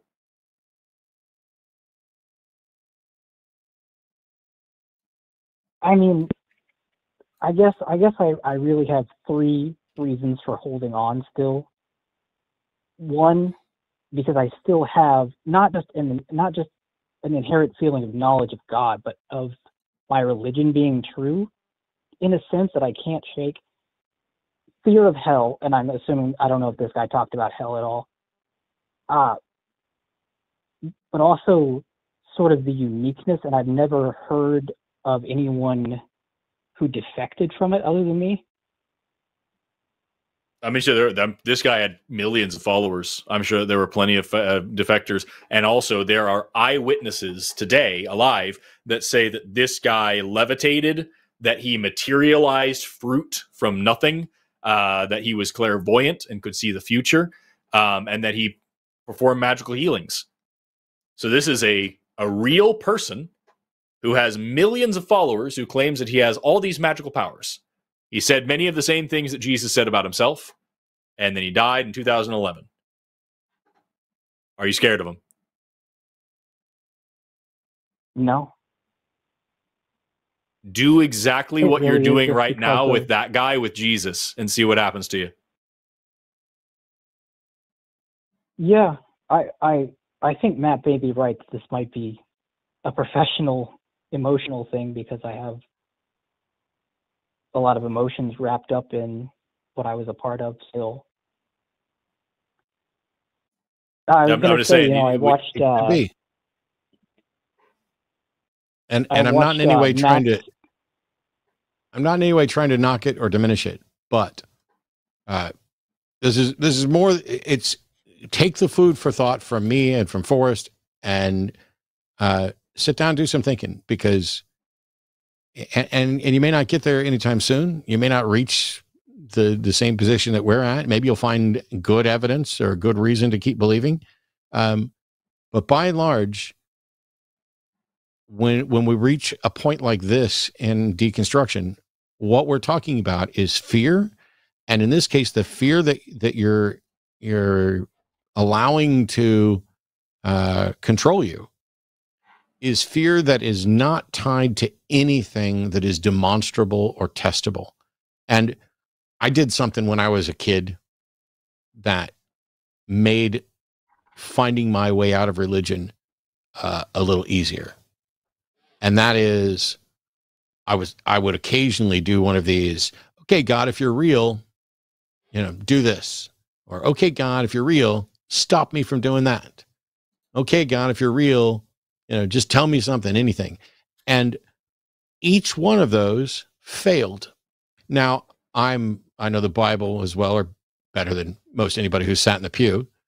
And so there's the thou shalt not put the Lord thy God to the test. Um, why not? What what what could a God possibly fear from being put to the test? Uh, it either passes the test or it fails. If it passes, great. If it fails, that still doesn't mean it doesn't exist. And God would know this. God would know the fallacy fallacy. And so I'm not afraid of any God being able to give me so much as a hangnail, which is why it's really easy for me to point out that I could believe in a God and still never worship it because worship is something that I am actively opposed to. Respect, I'm not. And I'm willing to respect any being, God or not, that acts in a way that is deserving respect. But I will not respect anyone who demands it on pain of, of dire consequences. Uh, matter of fact, I don't even care if there are no consequences. If somebody just demands respect, go fuck yourself. I've met plenty of celebrities, uh, people with millions of followers, and they're known all this, and we either engage each other as human beings and talk to each other as equals, or I don't give a fuck to talk to them. I, I'm, I'm, you know, only once or twice have I ever been remotely starstruck. One of them, one of them was when I met Steve Jackson, who runs Steve Jackson Games, which is a mile from my house. Um, just because I that was true admiration for what somebody had done um, that most people wouldn't even notice. But yeah, I, I would reach out and and do some thinking and don't try to fix it all in one one sitting on a phone call. Yeah, well, I was just wondering if you you had any experience with that kind of believing that everyone secretly believes in God, including yourself. You have that inherent. I used to believe that. I used to believe that. And then when I realized that it didn't make any sense and couldn't be true, I stopped believing it. And now I don't believe in God. Okay, so, so you, I did know have that experience. I ha- did I have the experience of being convinced that everybody believed in God? Yes. Okay.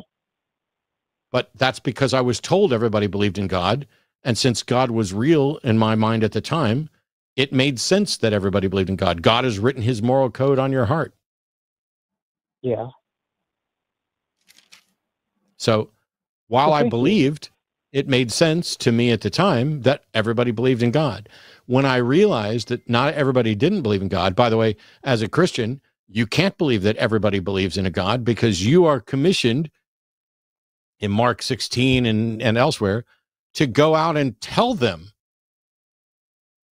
if if everybody believed in God, God, there would be no reason for a great commission to go ye therefore unto all the nations and preach the gospel. Oh, well, they believe in a God, they just don't know the gospel. No, we know about the Pirahã who have no God concept at all.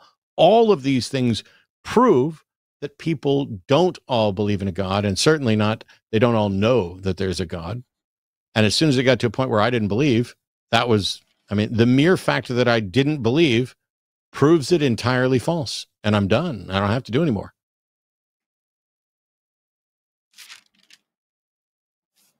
Yeah. So so now your choice is is it more likely that Matt and Forrest and everybody else who's here on the line uh, and in all of the atheist communities, is it more likely that all of these professed atheists are actively lying or that this concept that everybody believes in God is wrong? Well, that's sort of the problem. Is is I can't get into anybody's head, so I I, I really don't know. You Do don't you have believe in the Bible? None of us- just none of us none of us can get into it for- anybody else's head I- I- I- you don't need to get into somebody else's head to say hey There are millions of people who say they don't believe in a God. What are the odds that all of them are lying versus what are the odds that this bald assertion that has no evidence at all that all of them are lying? Which one's more likely? The bald assertion being that that everyone believes in God. You you think that's Mhm. more likely to be true than than that? Okay, so you're basically saying Forrest and I are lying. Thanks. I mean, you could be. I could not know. I, I'm so glad we sat here and So- tried to help can't you so that you could say that it's more likely that we're liars. Why did you call us if you think it's more likely Well, we're I- lying? That's fucking Do you bullshit. believe? I didn't say that. I, Do you believe in the Bible, you I didn't say it. not. Um, d- I mean, no, but it does kind of affect me emotionally, if that makes sense. But like, is is the is what the Bible says about God a good, you know, like actual description of what this God is, and the rules around That's him? the only description of any god that seems in any way reasonable to me, or in any way believable in to me. In Judges chapter six, uh, God comes to this dude named Gideon and is telling him to do some shit. And Gideon says, "Before I believe you, and before I start doing the shit you want me to do, uh, I'm going to put a fleece on the ground." And if there is in the morning, if there is dew on the fleece, but not the, er, the the everything around it, if the ground is dry, but the fleece is wet by the morning dew, then I'll believe that you're really God. And then I'll do what you say. And sure enough, that's exactly what God does. And God did so that night. It was dry upon the fleece only, and the, there was dew all on the ground. Sorry, I got it backwards. Um, oh no, actually, he There's does it problem. twice. Yeah. Problem, he does it twice. He does it. He does it with the fleece first, and then he does it backwards. He says, "Okay, well now, now the next day, make the ground wet and the fleece dry. Try it backwards." And so God does tests. He's like, "If you're really God, do this weird fucking shit, and then I'll believe you, and then I'll do the thing you say." And God does two weird ass tests and passes them. So no faith required. The, The- God of the, the Bible prob- is clearly cool with that. So do that There's, no, go go problem. run some tests. Oh damn! No. I thought that was a fun way. No, all right. What's the problem? No, the problem is, is is that the individual believed there was a God. They were just seeking verification that they were talking to God. Oh, that's a good point. That's a good point. See, this is why I need people like you who actually, you know, used to believe this to, to, to fact check me because like that's or to, to, to check my assertions because like I thought that was it. How- like if you if you want to figure out this God, go run some God tests. You know what I mean? However, the, the, the closer one is to go to like Psalm 14:1 where it says the fool hath said in his heart there is no God. The specific phrasing there is and and you can claim that they are just in denial, but when you say the fool hath said in their heart there is no God, what what it's actually saying there is essentially um that this would be their sincere position. And and by the way, Psalm 14:1 says the fool has said in their heart there is no god. They are corrupt. They have done abominable works. There is none that doeth good. Let's say that since you already think i'm lying um, that i have said in fact in my heart that there is no god do you also believe that i have done nothing good No, I don't believe that. then the bible's wrong throw it out It also says right after that that nobody's good. true I'm looking at, I, I pulled I pulled that one up. It says the fool said in his heart, "There is no God. They're corrupt. They've done abominable works. There is none that doing good uh, that have that doeth good." And then the second chap, uh, verse here: the Lord looked down from heaven upon the children of men to see if there were any that understand and seek God. They are all gone aside. They are all together become filthy. There is none that do us good. No, not one. So, like, eh. if you think that there's good people in the world at all, you you don't believe in this. but in any case spencer i gotta move on All right. Well, I did want to say I'm huge fans of both of you, and I watch all your videos, so I'm very grateful to talk to you Okay. directly. well someday i'll convince you i'm not lying You guys have a good night. you too Take care. That was a fun one. This is not Oh. not the call for me. This is much more up your alley. I tried to jump jump in with Bible stuff, and of course you blew me out of the water. So wanna- Yeah. Um, we we've got a handful of calls and we're like I, I still want to. We still got to get super chats and other stuff here, um, but I want to make sure. I, I always want to try and get theists in. Um, so Tanaka, somewhere in the USA, uh, pronouns are he, her, an agnostic theist. Uh, welcome. You're on the show with Forrest and Matt. Hey, Forrest. Hey, Matt. How you guys doing tonight? I'm all right. Hello. How are you? Good. How are you? I already asked that. Uh, So It- it uh, says- my question. says you have- Hmm? It, it says you have two questions. One is about is there anything sacred or holy in the atheist worldview, and the other is what came before the Planck time. And uh, I'll answer the second one first, even though I'm not the science guy. I have no way of knowing what's before the Planck time, and I don't think anybody else does either. Well, no. I actually I'd like to give you my theory about what came before the Planck time. I don't care. Um, if I Do- can. do- is, your- is your theory about what came before the Planck time something that you can back up with evidence? I think it makes kind of good sense. I think it makes. I- I don't I care. think it is commonsensical. Uh, No, I'm sorry, but you know the speculation about prior to the Planck time, unless you have some scientific evidence and a way to do a model, is just time wasty stuff for me. Fair enough. Fair enough. Then, uh, Cool. well, how about the first question then? First is there anything sounds good. sacred or holy in an atheistic worldview? No, nothing that in a nothing about an atheist. An atheistic worldview is just a worldview that doesn't include a god.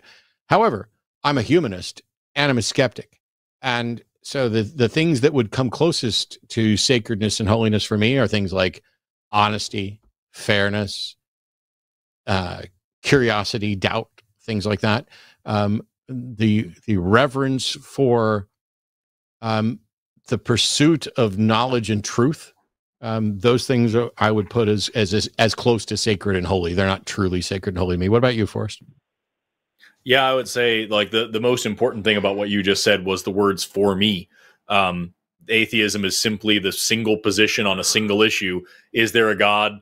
I don't think so, and that's it. So like you you can Right. have Republican atheist, Democrat atheist, conservative atheist, liberal atheist, a very nice atheist, very mean atheist. Is you know if you ask what's sacred and holy. By definition, I guess nothing because there's no God, so there's no such thing as sacred and holy in that way. But in terms of like what's deeply seriously important, that varies from person to person. I would agree largely with what Matt said, but you can I guarantee you can find another atheist out there that would think something completely different. Do you mind if I make a comment? Go for Go it. for it. Yeah. Um. So I've been sh- like I experience a lot of uh, cognitive dissonance, and I appreciate uh, your shows, Matt and Forrest. I've seen you guys a lot over the years. Been watching your content for the past about 16, 17 years, maybe, and have it and attribute a lot of my deconstructing as as it is so far to the content that I've seen with you two and and some other hosts. And uh, one thing that keeps me stuck in my faith, as it were, and I don't have many proofs or not to not any of them really no evidence I would say to prove why I believe. I just believe on faith. Granted, faith isn't a reliable pathway to truth. I just believe because I hope it's true, and that's because I just think that if I were to deconstruct and come out of faith and religion all the way, that hope in my life, I would be totally devoid of hope and I'd become a total nihilist. Hope, hope for what? And as Nietzsche, hope for love, hope for a life or a meaning or some kind of hang on. anything, really. Hang on. Uh, do you think Forrest and myself have a life that is devoid of love or meaning?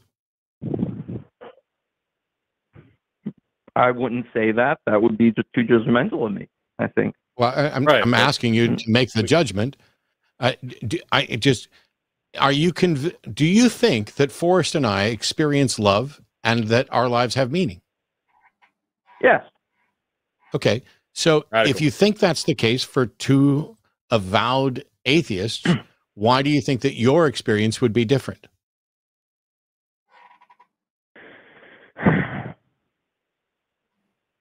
because well i guess and i i i struggle to share this on your show because i've shared this on some shows with the aca before and they've gotten kind of smocked at a little bit and shrugged off like I'm almost hypnotized into believing in God and into my faith because I have schizoaffective disorder, uh, formerly diagnosed as schizophrenia because I hear voices from God, Christ, the Holy Spirit, and a various assortment of other angelic voices and extra dimensional being, beings that always say very affirmative and positive things to me.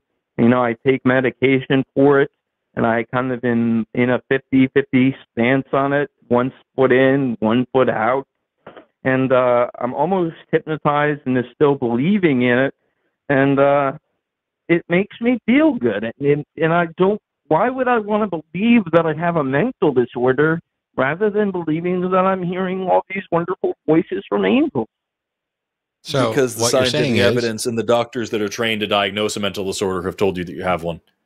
yeah, That's Uh, true. what, what you're Yeah. what you're No, that- that suggesting then is that you don't you, you care more about your comfort and how you feel than about the facts of reality.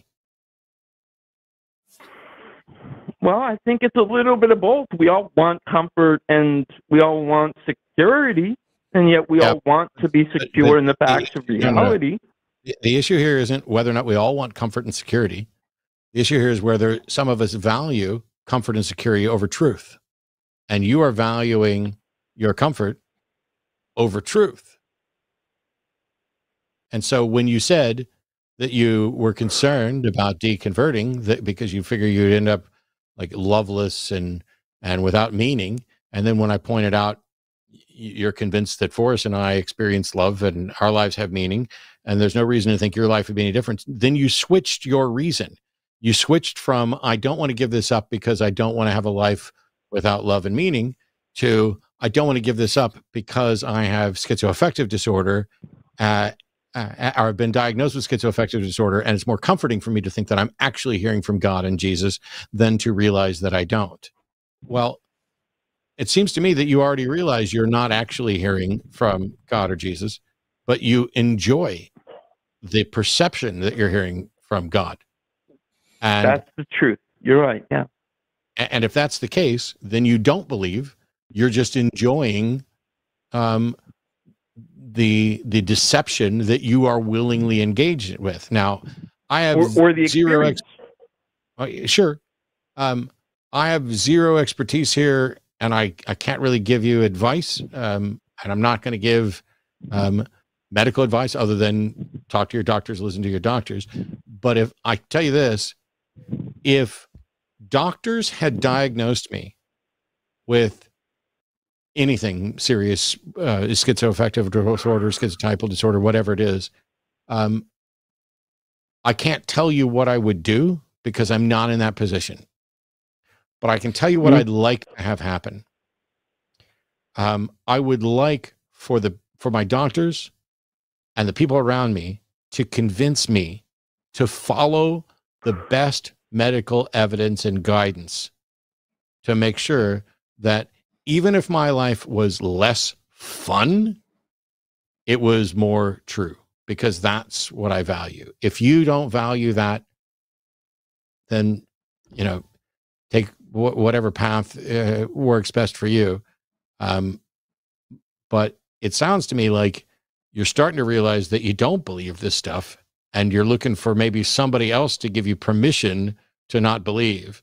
And while that's not my job, I'm happy to tell you that I experience plenty of love and I have plenty of meaning in my life. And what I also have is truth and fun. And I can't guarantee that's going to be the same for anybody or, or else. But if if those are the things that you're afraid of not experiencing, um, if you're afraid of falling into nihilism, I can tell you there's plenty of atheists that fall into nihilism, um, but that is reparable as well. I would also point So out that but- I actually am a nihilist in a lot of ways. I, I I like cosmic nihilism as a school of philosophy, and I'm also having a lot of fun out here. Like I, it's that's not even a bad thing necessarily. There there's different types of nihilism. It's not worth talking about right now. I'm just saying, like, there's still cool ways to say that it's all bullshit and, and still have a smile on your face. yeah, yeah, yeah. But like, but the thing is, is like, if you're an atheist, isn't it till death do you part forever? But if you're a Christian, it Yeah. gets to be forever. No. Yeah. If you're a But Christian, doesn't you have the delusion of forever. You're not going to actually live forever. Like what one of those things is actually true, and one of those things we have a good reason to believe. And so like Right.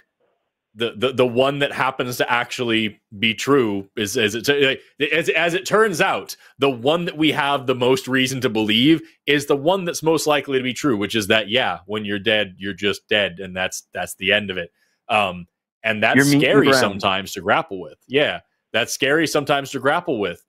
Um, as someone who has been around a lot of dead people in my life, like it's freaky sometimes to kind of wrap your brain around what's going on there. Uh, but at the end of the day, that doesn't change the reality of the thing, and it doesn't change your ability to find meaning, find happiness, any of that. Like that's that's just it's it's a thing that you have to now work around, but you're still able to work around it. You're just going down a different road. Doesn't mean you can't keep progressing forward. Right. Well, like I guess big I'm looking for a way out. Yeah, I'm looking for a way out, and this really helped. Thank you guys. Cool. Hey, no worries. I wish you the best. Thanks. Always remember Bye-bye. you can reach out to recoveringfromreligion.org, the Secular Therapy Project, all of those things um, are, are there specifically for this kind of thing. Now, um, you know, Tanaka may have uh, needs that other people uh, don't. And uh, you know, it's it's difficult because I don't have an expertise in dealing with a lot of those things, um, and it's. But I, I appreciate the fact that somebody is willing to say, you know, hey, I've got these issues, and I'm, I'm, I'm feeling this way, and I don't know what to do about it, because there are Yeah. plenty of people who are in similar positions who never reach out for any help. It's just like I've got a comforting delusion. I'm, you know, fat, dumb, and happy here. Why would I ever change that? Um, th- those are real uh, concerns that people have, and some people are more comfortable just hanging on to uh, whatever delusion they're enjoying at the time. Yeah, All right. it's rough, man. We have waiting forever. My apologies, but I've got to give priority to theist. Ryan in Georgia is an atheist who's been on hold for two and a half hours. So, Ryan, the floor is yours. Hey, uh, yeah, I, I called uh July 23rd. I talked to uh, you, Matt, and Jimmy about my mother uh just diving deeper into religion and how it's kind of made her just willing to believe a bunch of conspiracy theorist stuff and how to remove that delusion but not r- remove her base faith thing. Um, Yeah. I've I I I I, was calling back in because uh, you guys said I maybe should. Uh, I've talked to her since then. I believe I've come to the conclusion that she's just not going to change her mind about it.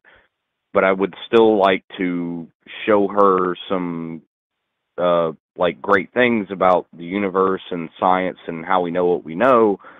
And uh, I, I saw that Forrest was on tonight, and I, I, I really respect you, Forrest. Uh, you, you, your, your Light of Evolution series really, it, it's, it's, it's amazing. Uh, Thank you. Means a lot.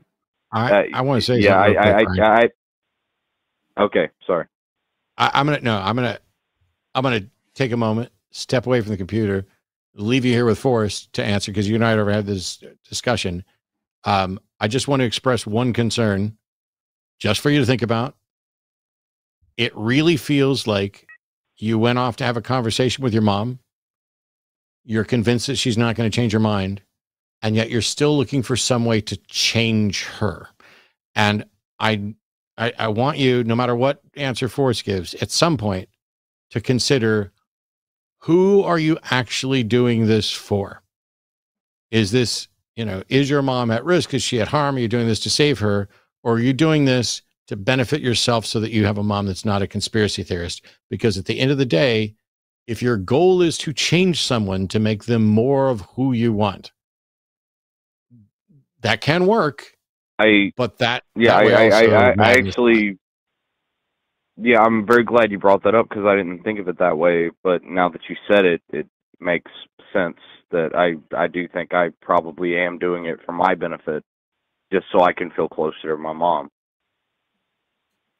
That's a really hard thing so- to have so- to deal with, dude. Yeah, I am now on but the I that but but yeah, I like like I, I love science, and she doesn't accept a good bit of it.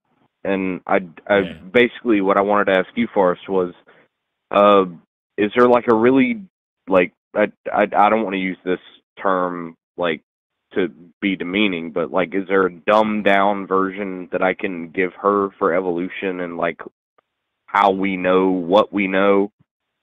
Yeah, man. Um, so like the biggest thing for me in terms of like evolution in a way that anybody could understand is just like basic neo-Darwinian natural selection. Just that's just our the most most fundamental understanding of it. Um, because if you try to talk about fossils, well, the fossils are fake, or well, you know, whoever's funding the study finds the fossil, or whatever. Like, if you try to talk about radiometric dating, oh, well, that's all you know made up, except for when we need it for stuff like commerce, and then it's real. But other, all the other times, it's all fake, and like, you know, all these things. So for me, what I would say is this: this is how I teach evolution to people who are skeptical of it, and it's also how I teach evolution to like middle schoolers when I'm presenting the idea the first time. Is three basic things that we have to agree on. Number one is that genes exist and they're heritable from from parent offspring, right? If I were to ever reproduce, my offspring would inherit my genes, all right? And we we can all agree that that's the case. If you don't believe that's the case, just note the fact that you look about the same as your parents and that your children look about the same as you, right? Um, so most creationists, we can get on the same page with that. The second thing is that different flavors of genes exist. Matt and I talked quite a bit at the beginning of the show about alleles and why there are some biologists that even don't use the word gene anymore, right? So these alleles are different versions of the same gene. So those definitely exist. And if you don't believe that, take into account the fact that, you know, your parents have different facial features and you look more like one than the other in some ways and more like the other than the first one in other ways and like you have your dad's eyes and your mom's nose and blah blah blah this is we're seeing the it, the difference of alleles dominant versus recessive alleles again everything that i'm saying here has variation and interesting little tidbits to it but this is just the basics um, so if we can get to those two things then i guarantee you already understand evolution because the third thing is different alleles are better suited for life in different environments. You can have all the best alleles for being a penguin, and you're going to die in the Amazon. And you're going to have all the best alleles for being a boa constrictor, and you're going to die in Antarctica. There's no such thing as the perfect blend of alleles because the alleles have to match the environment. And if you can understand those three things that genes exist, that they come in different flavors, and that different alleles are better suited for life in different environments, then you've got evolution in the bag. I pass on the alleles. They didn't help out my offspring. My offspring didn't reproduce anymore. That's the end of it. I all passed on these alleles. They did help my offspring. My offspring reproduced a whole bunch. The population slowly shifted in that direction because those are the alleles being passed around. That's basic evolution. Um, from that point, you'll probably get into the distinction between macroevolution and microevolution, which is a silly ass distinction to make in that context, but that's a different conversation. If you can understand those three things, you have evolution down pat from in, in, in its most basic fundamental form. That's it. Uh, so that's what I would go with. If, if if I was trying to present it to somebody who didn't believe it, that would be my evolution for dummies, so to speak. All right. Uh, that's that's awesome. I've heard you say the same things before, and I'm I agree with all of them. Uh, no, no, no, no, no. You, you, you're you're great. You're great. It, this it's it's okay.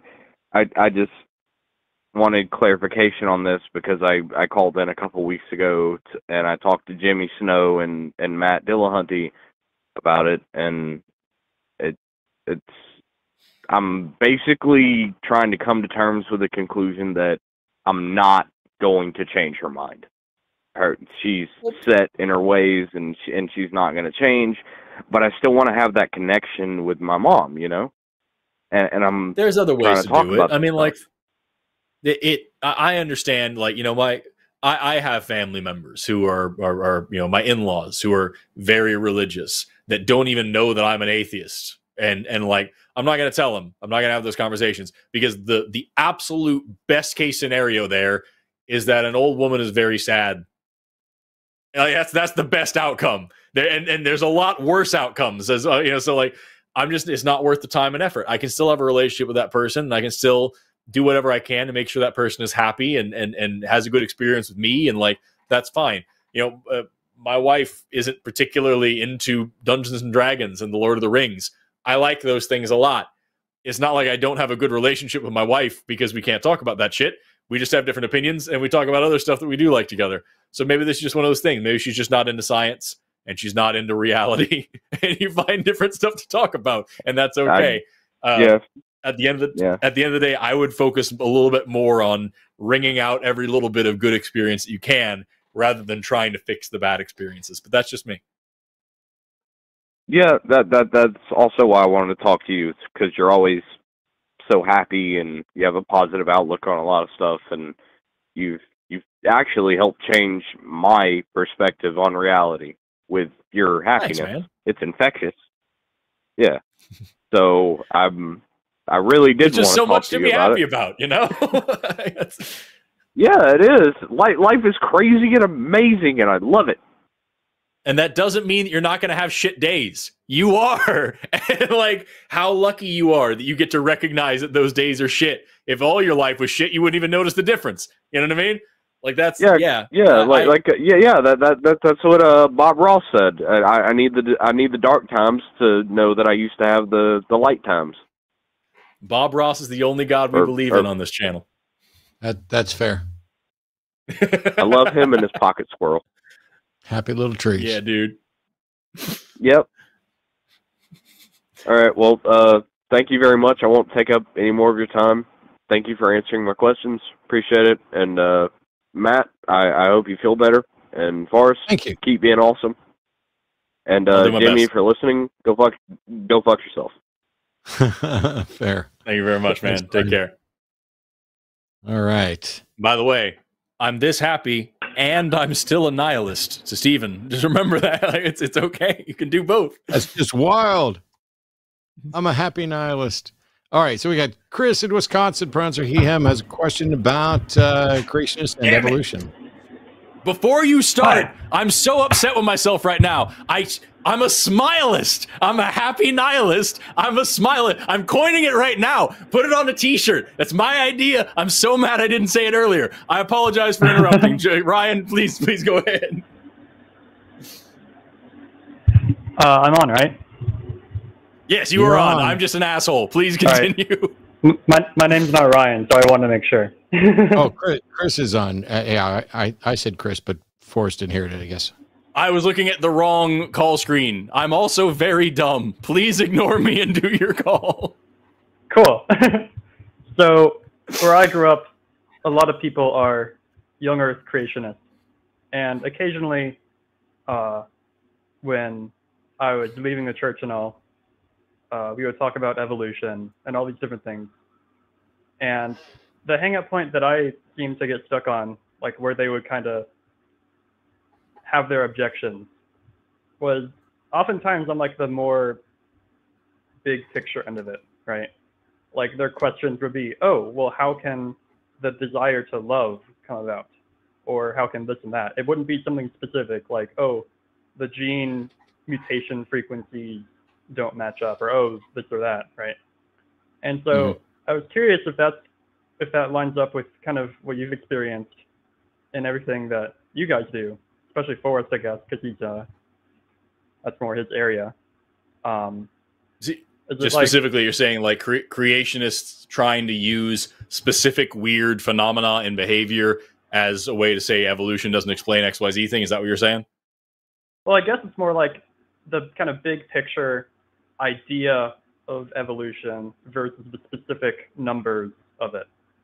I guess is how I would put it. Like, is it someone? I'm not sure I understand. Because, like, the way that I might try and address the objections that people in my life would bring up would be to try and explain the basic thing that you were that you were talking about a moment ago, where it's kind of the basic idea of how something complex can come about just in a more abstract sense. Yeah. And I was wondering if that's what comes up most of the time, or if there's a lot of people who are also hung up on kind of specific parameters or more specific evidence, like mutation rates not being enough for this thing to happen. Yeah. It, it like that. depends. In my experience, it depends on how into the actual science they are.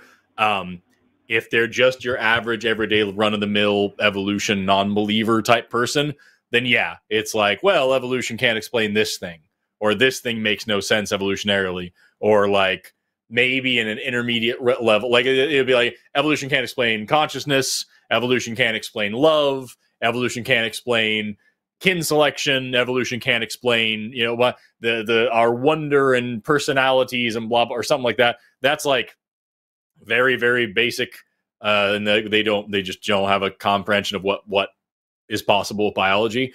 Um a little bit deeper than that you get into people who are like well uh you know this structure like look at the giraffe. Uh, they have valves in their neck to stop blood flow fast uh, going too fast to the brain and they have a rete mirabile around the brain to, to prevent you know too much blood infl- whenever they bend down to drink and like these are these are all specific adaptations that all have to be there together at the same time perfectly in order for the giraffe to exist and it's like that's okay now you've you've taken some time to study organismic biology and look at like what these animals are you haven't taken the time to learn how evolution works though and so you're still in the same camp um, and then when you get people who are like professional evolution deniers, then you get into things where it's like, well, you know, if I uh, change this protein, then it's no longer functional in the same way, and therefore it can't possibly be the result of natural selection. It's like that. Now we're actually talking about the nuts and bolts of this, and also you're still wrong.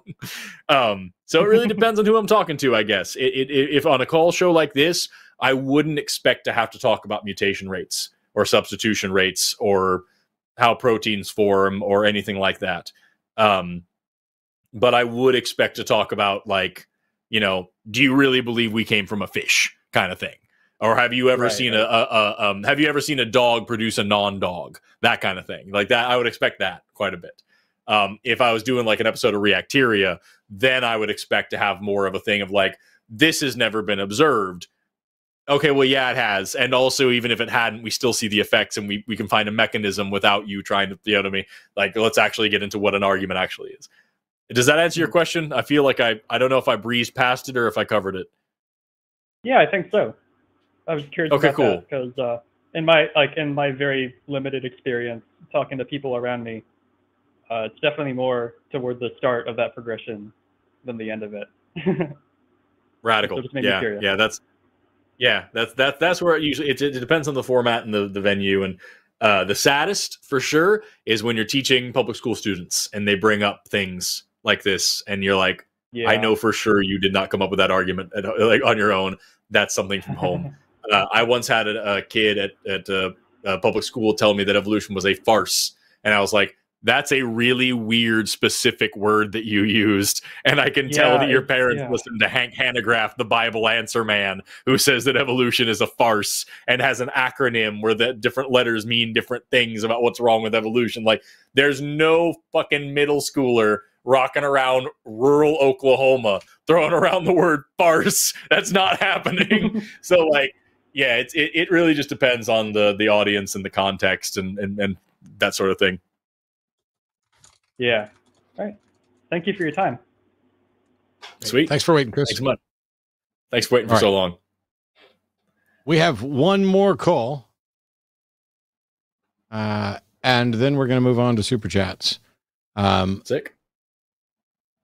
I this is my fault because I really just wanted to have a show, kind of basic, generic science, other stuff like that. Um, but I didn't give that information to screener. So who knows how this is going to go? But Jason, Oklahoma, you're on with Forrest and Matt. Hello, I'm Hey, sorry you're in Oklahoma. Hey, how y'all doing? really good. All right. Uh, first, I just want to give a quick shout out to all the smilists out there. But pretty uh, cool. Yeah, if I could just uh, preface this before I get into, I want to be quick about it. With the do too. whole, with the gender and science thing, I just want to say that when it comes to a societal standpoint, I li- I go by the live and let live, you know, code of things. As long as Sure. everybody do does what they want, it doesn't bother me whatsoever. But when it comes to the uh, science What? side of things, I I try to understand like what it comes down to, and that's where I kind of get lost in the weeds. Mm. Because when I hear people like, just to name a few, like Richard Dawkins and Brett Weinstein saying that things are, you know, like a binary, and then I hear somebody like Forrest, who I greatly admire, say it's a spectrum, then you know I try to be skeptical of everything I hear, but you know, like I said, that's just where I get kind of lost. So I'm trying to figure Yeah. this out. So if I could just get some help with that, that'd be great. I, I would say the major thing is that like the a lot of the times when people really try to push this sex binary thing, it is almost exclusively, and I'm saying almost here because there's no way I can possibly thoroughly properly represent this argument in the scope of the show right now. But like it Mhm. is almost exclusively by glossing over outliers and and and you know differences from the norm and things that don't comport with it or by just doing a rhetoric or a linguistic trick and saying well we only have two sexes that we've defined so even if there is a continuum of variation between them because we have two of them that we've named that's two and that's binary. And like it's not hard to find actual scientific sources that talk about the you know spectrum of variation between the two sexes. And you can still say words like two sexes and not fall into the trap of thinking that this is a strict and unchangeable and and and you know very parochial narrow little binary that that just doesn't make any sense um the the Mhm. it, it, so really it just comes down to a matter of like we talked about at the beginning of the show you know it's about putting facts in order. The facts are that sex is a multivariate system with lots of different things that go into it. Not a single one of those things is solely determinate of the outcome and not a single one of those things has only two options. If you can look at that and call it binary okay i don't think that's an appropriate use of the term. Um you know binary for lack of a better word isn't good enough and more than two isn't the same as two. So that's that's why i and others like me say this is very obvious you can say it's mostly binary you can say it's functionally Normally binary. bimodal. off yeah you can say it's often binary like wh- it- it- things like that it's it whatever but if you're gonna sit here and say yeah it's it's it's binary except for all the times that it isn't like i'm sorry that's not that's not good enough for me it's it's it's the difference between po- common speech and and you know speaking professionally But but setting all that aside, Jace, you're like when I hear people like Dawkins or Brett Weinstein. Well, first of all, when we're talking about gender, we're talking about a, as Arden would say, a durable psychological construct. But gender isn't merely gametes. It's not biological sex. Gender, as we're talking about it, is at the intersection of biology, sociology, and psychology. Brett Weinstein is not a biologist or a sociologist or a psychologist. He's a COVID 19 vaccine denying lunatic. So I don't know why his name uh, came up at all. Dawkins is a biologist that gets even, as Forrest has pointed out recently, even the specifics of the biology wrong while engaging in this equivocation fallacy. What happens almost every time is either there's a no true Scotsman fallacy where they say only cis women are women, or there's an equivocation fallacy where they suggest that trans women are claiming to be cis women, which they're not. Uh, and by the way, they always make it about trans women, not trans men. Uh, they want to, oh, it's trans ideology. This, look, gender is, I would say, almost, but not quite, almost completely independent from biology. because the fact of the chromosomes, which I don't have access to somebody's chromosomes, or the genitalia, I don't have access to their genitalia. It's none of my fucking business.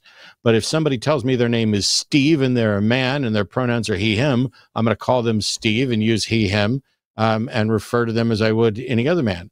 I don't care what was on their birth certificate. I don't care what their gametes are. I don't care what the biology is because we're no longer talking about anything that has anything to do with their biological makeup. We have something that has something to do with how they are uh, uh, view themselves in society and how they want other people to view themselves in society. And if you're truly in this, you know, hey, live and let live, then don't be worrying about what Dawkins repeatedly fucking gets wrong while he, what we should be worried about is why is Dawkins wasting time propping up non-scientist right-wing talking heads who are anti-trans instead of engaging with actual scientists on any fucking subject that mattered. It's embarrassing. I didn't know who that other guy was, but it, it sucks. And like what I would throw out there also is that like, you know, this is not news yeah, I, I didn't touch on gender because I just wanted to get the sex thing out of the way because I you were talking about that kind of thing, and I, I figured that was whatever. But like the the distinction between sex and gender, and and talking about gender as a, as a spectrum, and like understanding that these are different things, and that they're this is like almost a hundred year old information now. Like I, I have, and I'm not exaggerating here.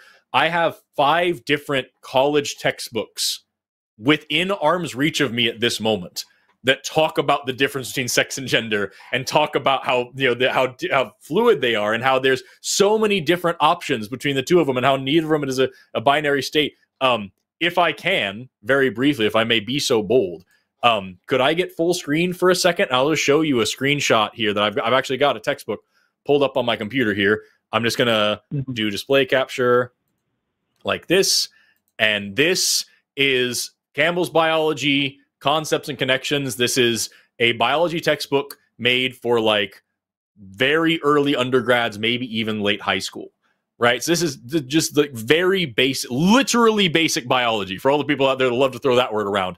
And here you can see in this paragraph right here, we talk about uh, the biochemical, physiological, and anatomical features associated with males and females are turning out to be more complex than previously realized, with many genes involved in their development. We now know that sex is not a binary state with just two defined outcomes. Because of the complexity of the genes and proteins involved in sex determination, many variations exist. Some individuals are born with intermediate sexual or intersex characteristics, or even with anatomical features that do not match an individual's sense of their own gender, known as transgender individuals. Sex determination is an active area of research that should yield a more sophisticated understanding in years to come.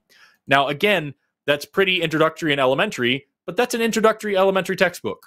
That's that that is a concepts textbook meant to be given to people who are entering the field of biology. So for all the people out there that love to say that this is some new woke ideology, this is literal goddamn science that's been around for almost a hundred years now. And like, unfortunately, there are still people out there that have made this a political thing or that are putting facts in a different order than the rest of us are.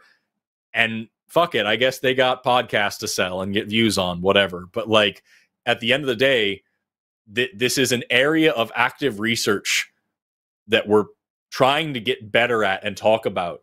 And yeah, that is going to involve a lot of like changes in our language and the way that we deal with each other, the same way that it was back when homosexuality was considered to be a mental disorder. And then all of a sudden we realized that it wasn't.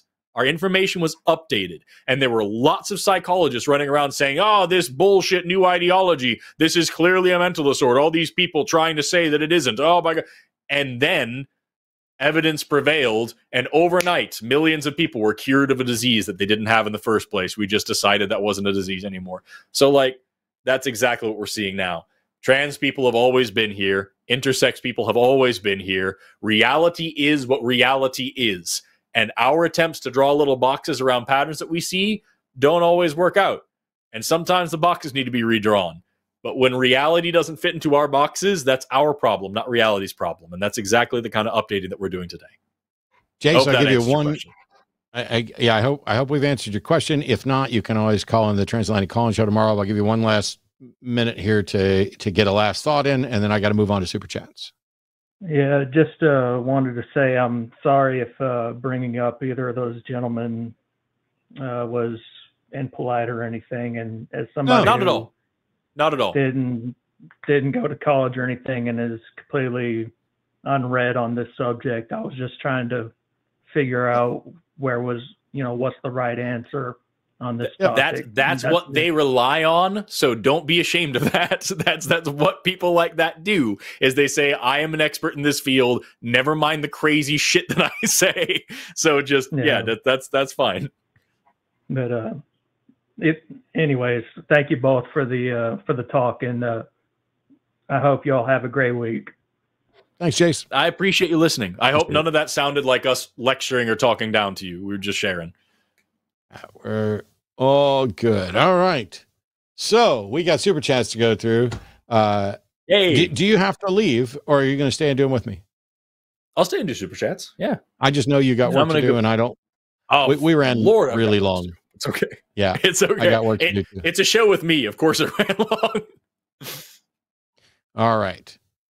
So, boom, I got my list up. Ten dollars for Sheridan Bernasconi. Ohio came through for women's rights. Uh, yeah, my understanding. I, I didn't get to talk about this. Issue one was to uh, change the requirements to uh, uh, from fifty percent plus one to sixty percent to uh, amend the Constitution, and something like that is an attempt to push the status quo, um, make it harder to change things from where they are. And given there's a fight there uh, about abortion rights and stuff like that.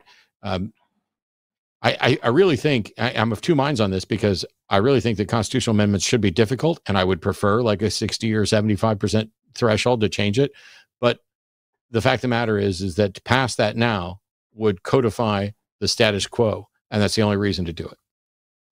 Yeah, and that's that's pretty much the long and short of it that I see with that as well. Is it was attempting to put a stifle on democracy, and it's like if if you want to say that this is the way the Constitution should be, that's fine.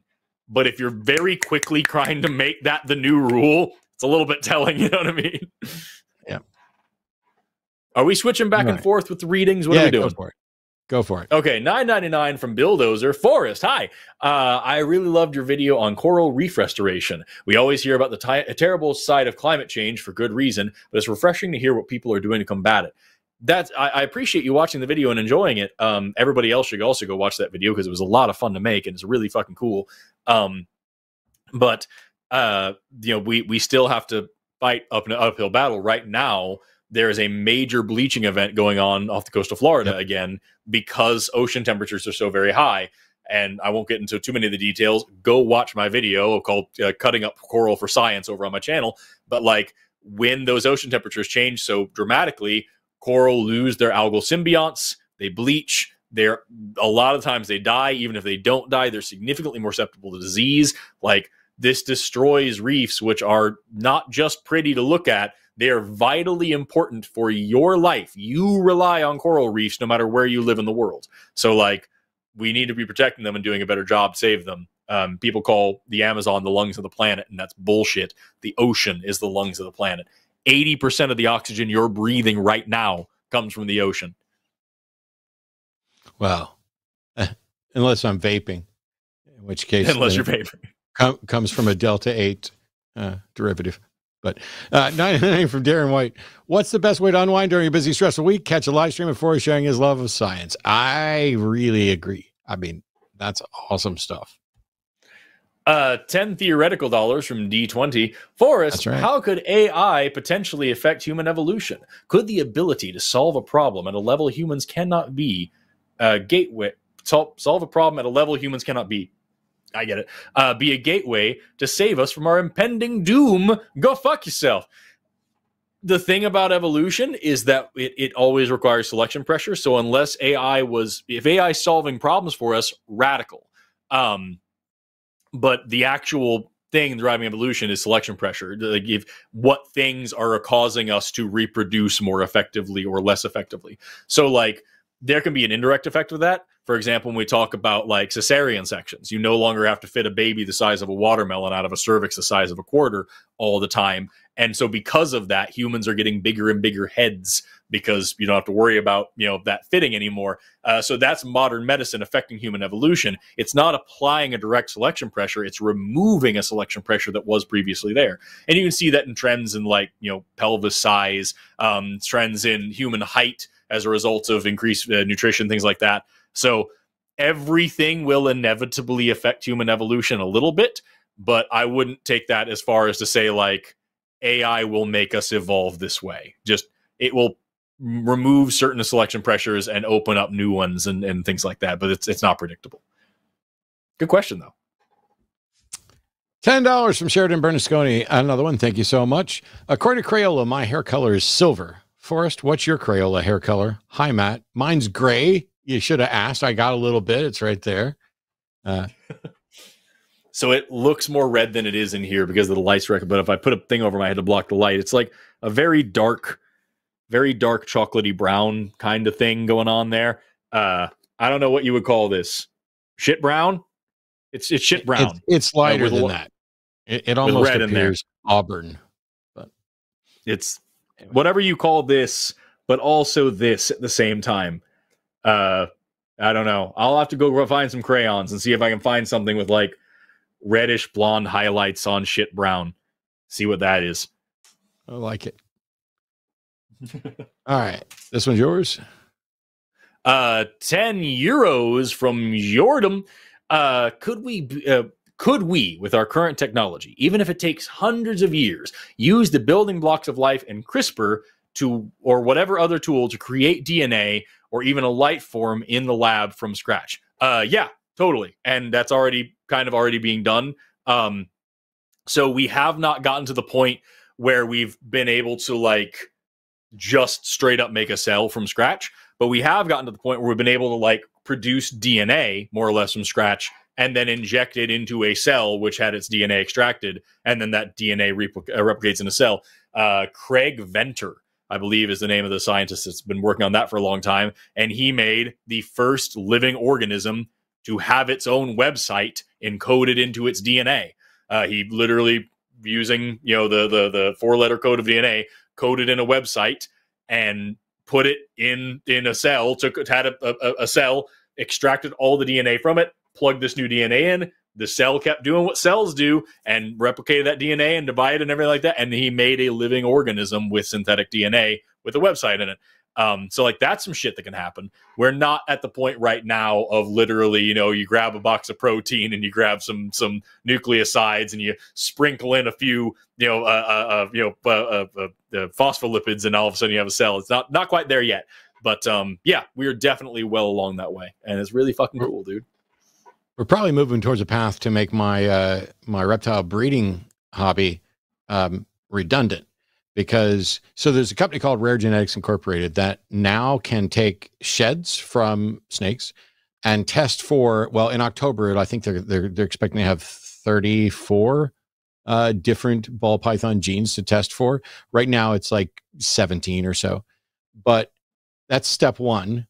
Step 2 is getting their um their genome repository there so that everybody sends them in a, a, snake shed. They they log that so that even if you only got one test if they develop other tests later you don't have to send them a new shed. You're already in the system. They can just you know run that for the rest of it because they will have they will have sequenced this.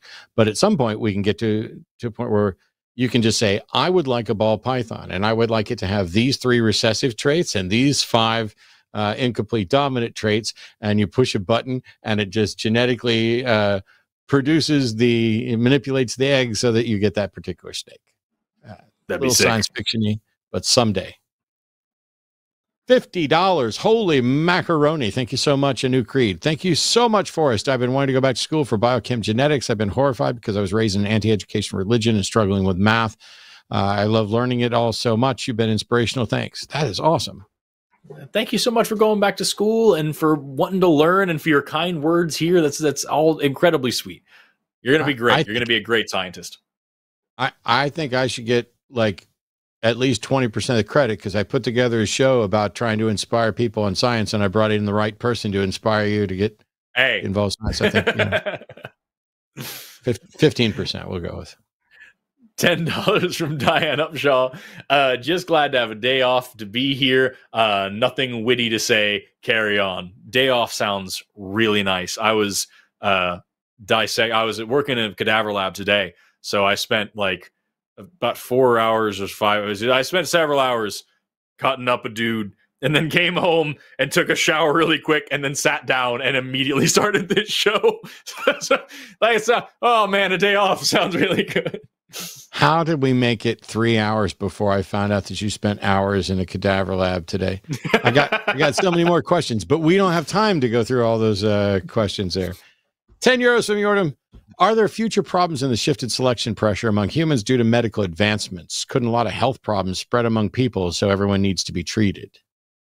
Yeah, so this was a thing that um, like several people have brought. Even Darwin uh, talked about this um, uh, in a, a, very close to eugenicsy kind of argument. He was talking about like you know if we continue treating everybody and and making sure everybody has a right to live, then eventually undeniably deleterious traits will spread in the population. And even though he did come to the conclusion at the end that like at the end of the day, this is undoubtedly the right thing to do. Like this is for sure the way that we should progress as humanity. Um, yeah, it, it's it's one of those things that people get really concerned about. The issue is he didn't think that through all the way either. um, the thing about like fixing these problems is, is, is you know reproduction is like okay well we can fix you but like your genes still say this that or the other thing but at the end of the day the selection pressures that would have made us call those things problems aren't there anymore either. There's a reason why I didn't have to run away from lions on the way home from from work today. You know what I mean? Because that wasn't an issue for me. That selection pressure has been removed. So yes, we will be shifting selection pressure with different medical advancements that will both create and destroy selection pressures that we have around us today. In the same way that access to increased nutrition, agriculture, um, air conditioning, um, you know, uh, uh, control of wild animals, uh, like all of these things have created and destroyed selection pressure. It is always a net positive. Um, it's unpredictable as to what it'll actually do to our phenotype, um, but uh, we can start tracking trends as soon as we start paying attention. So yeah, it's a good thing. Is this one you or me? I've lost track. I don't. I don't even remember. Ten dollars from Games and Science. Uh, as someone who is centered around science based content, I let people know I'm not an expert in any field. I just really like to read. It'd be dishonest for me to pretend otherwise. Yeah, that's I, I never call myself an expert in anything either. Yeah, I'm, I'm working on a second master's degree right now. I, I I'm not going to call myself an expert in anything because I know the shit that I don't know. If I was studying one single thing for 50 years, then maybe I'd throw that word around. But like, I I I just like to tell people the things that I know and encourage them to go find out more things. I I don't know. it's really I, easy for I'm me a lot. Sorry, go I, ahead. I, I have no I have no credentials, no degree. It's really easy for me to say I'm not an expert in anything because it's obvious to everybody I'm not an expert in anything. I just I'm a lot more comfortable with the word scientist than the word expert. I feel like the word expert carries a weight of responsibility, whereas the word scientist just means I'm learning the shit. You know what I mean? Anybody who's learning the shit is a scientist. Um, but to say an expert, you have to know the thing like really well. I hear you. 10 euros from Yellow Banana. Hey, Forrest, can you please? Oh my gosh. Hey, Forrest, can you please explain, explain endogenous retroviruses? Is, is it alone a sufficient proof for evolution or part of the package of evidence? If so, what's a go to topic when debating evolution? Thank you. Okay, but we're not going to spend an hour on this. Yeah, go go really quickly. Uh, an endogenous retrovirus. What we're talking about here, class six viruses, otherwise known as retroviruses. They have this really cool thing called reverse uh, polymerase, or sorry, reverse transcriptase, reverse polymerase. Pfft, that's dumb as shit. And if you like genetics, you'll know why. Um, uh, that's this thing called reverse transcriptase, and what it does is it uh, it it takes the viral genome, the viral DNA, and it literally puts it into your DNA. So even if you eradicate every single viral cell, your DNA is still the virus's DNA a little bit, and it's encoding for these viruses to be continued to produ- produce. This is why HIV is so scary and so hard to uh, fix because HIV is a class six virus. It's a retrovirus, um, and so it puts its DNA in your DNA, and that's why it fucking sucks.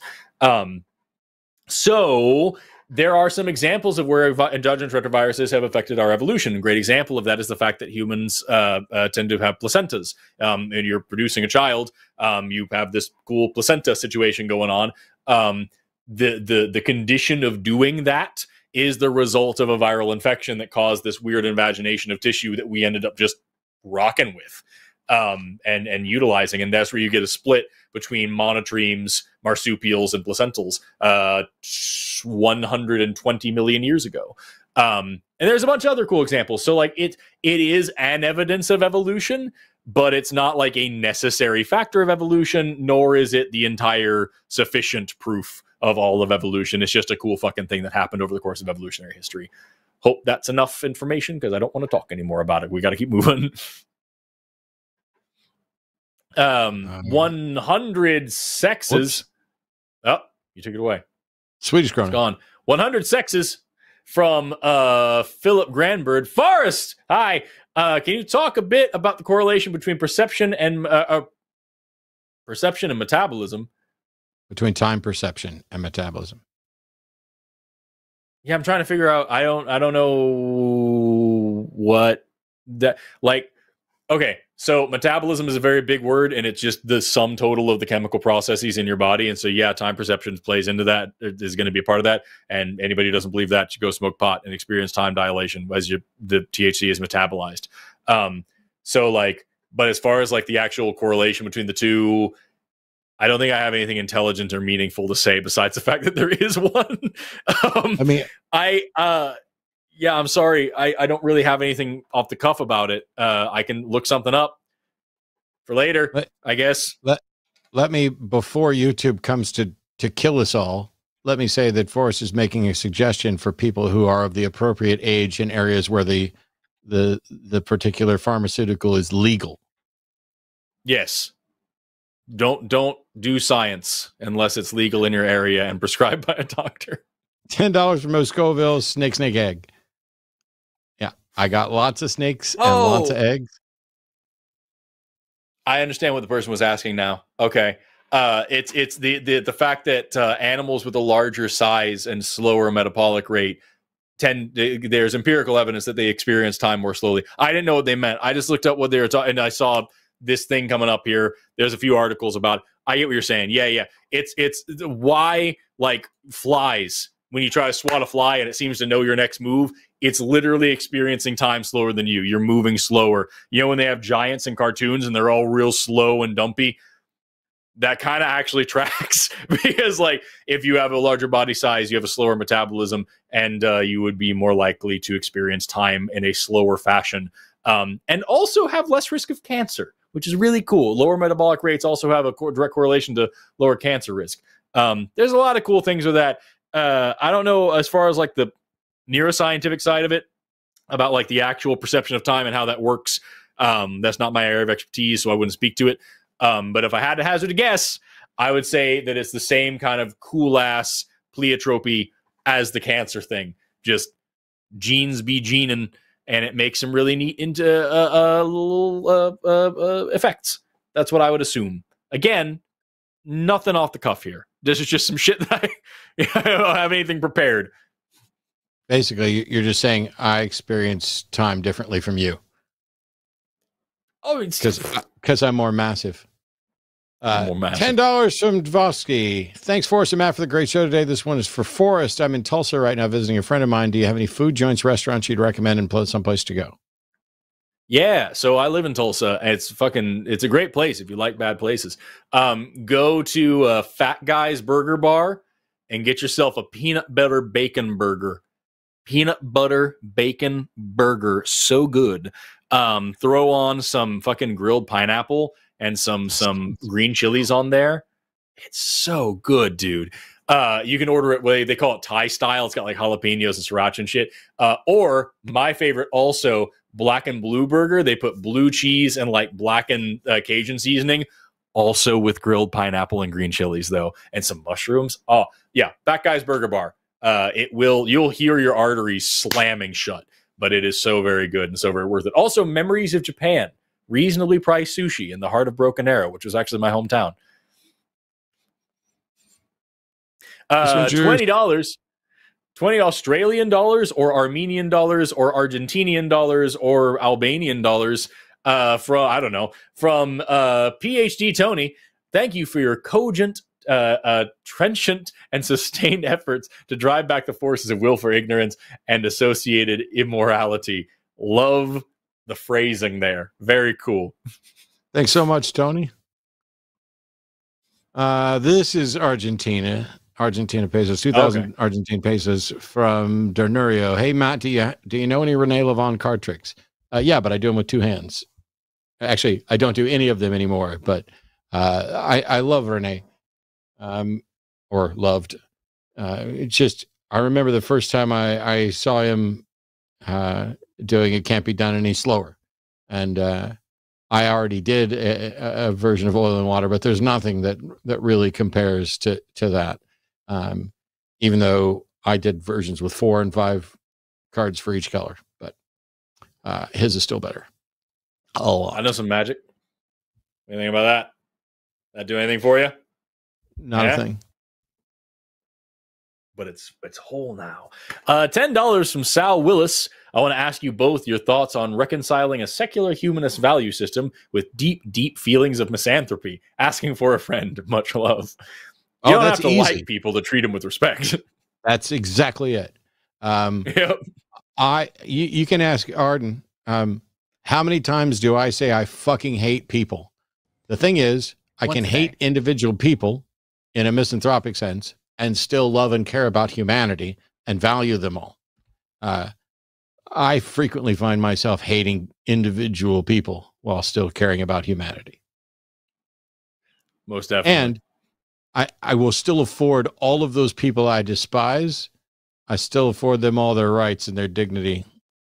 hmm hmm That's the what the man. That is a common argument. I I'm talking about like basic human rights, and when I talk about why I oppose the death penalty, when I talk about prisons, and like, what about some rapist, some pedophile, some murderer? Joe Joe is like, yeah, they're a human being. If, if, if you you don't have to put into qualifications, are they a human being? Yes, then they deserve human rights, and that's that's the whole thing. I'm not going to be as shitty as them. Um, it's uh, twenty dollars from Silence uh, uh, Terrapod. Uh, Forrest, what is what did I say? Terrapod? Oh yeah, you're right. It's tetrapod. I'm reading too fast. From Silent Tetrapod, um, what is your favorite organism that is usually seen as a pest, but is actually very important to the ecosystem? Possums. Possums, y'all. Don't hurt them. They're great. They're wonderful little dudes, and it's insanely difficult to be hurt by one. Not only are they just generally not violent, they're all bark, no bite. They'll sit there and snarl and whatever, but then they'll just fall over dead. It's super. Di- they can bite. Super difficult to get bitten by one. Also, they're immune to most most zoonotic diseases. They they can't have rabies. Well, they can have rabies. It's exceedingly rare for them to have rabies because their body temperature is so low that the virus can't propagate. They're immune to Lyme disease. They're immune to rattlesnake venom. How fucking wild is that? Because they make gen- venom neutralizing peptides in their blood. They're just chill guys that do good work ecologically and they deserve to be around and they're nice. So be good to them. Also, beetles. Any beetles that people see in their houses, uh, like beetles do 80% of the pollinating on this planet. Leave the fucking beetles alone. Put them outside. And spiders. If you have a spider in your house, you know what you don't have? A bunch of other shit that you don't want in your house because the spider's already eaten them. And snakes. See, when somebody says, What's your favorite organism? You don't get to list four.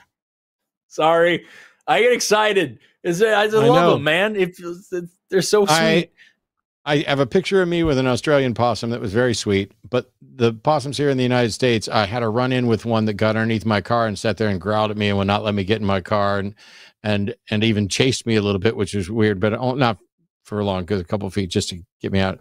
yeah, Um, yeah, the little I- charge I at think, you.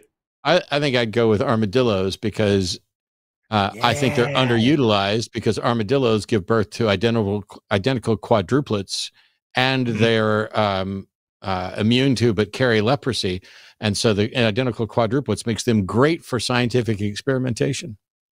and they're adorable. They're so They goddamn cute. So smelly. So smelly, but so cute. Twenty dollars. The Aztecs called Kevin them O'Kelly. turtle rabbits. Turtle rabbits. Twenty dollars. Kevin O'Kelly. My favorite example of consciousness being from the brain comes from the case of Phineas Gage. So fascinating.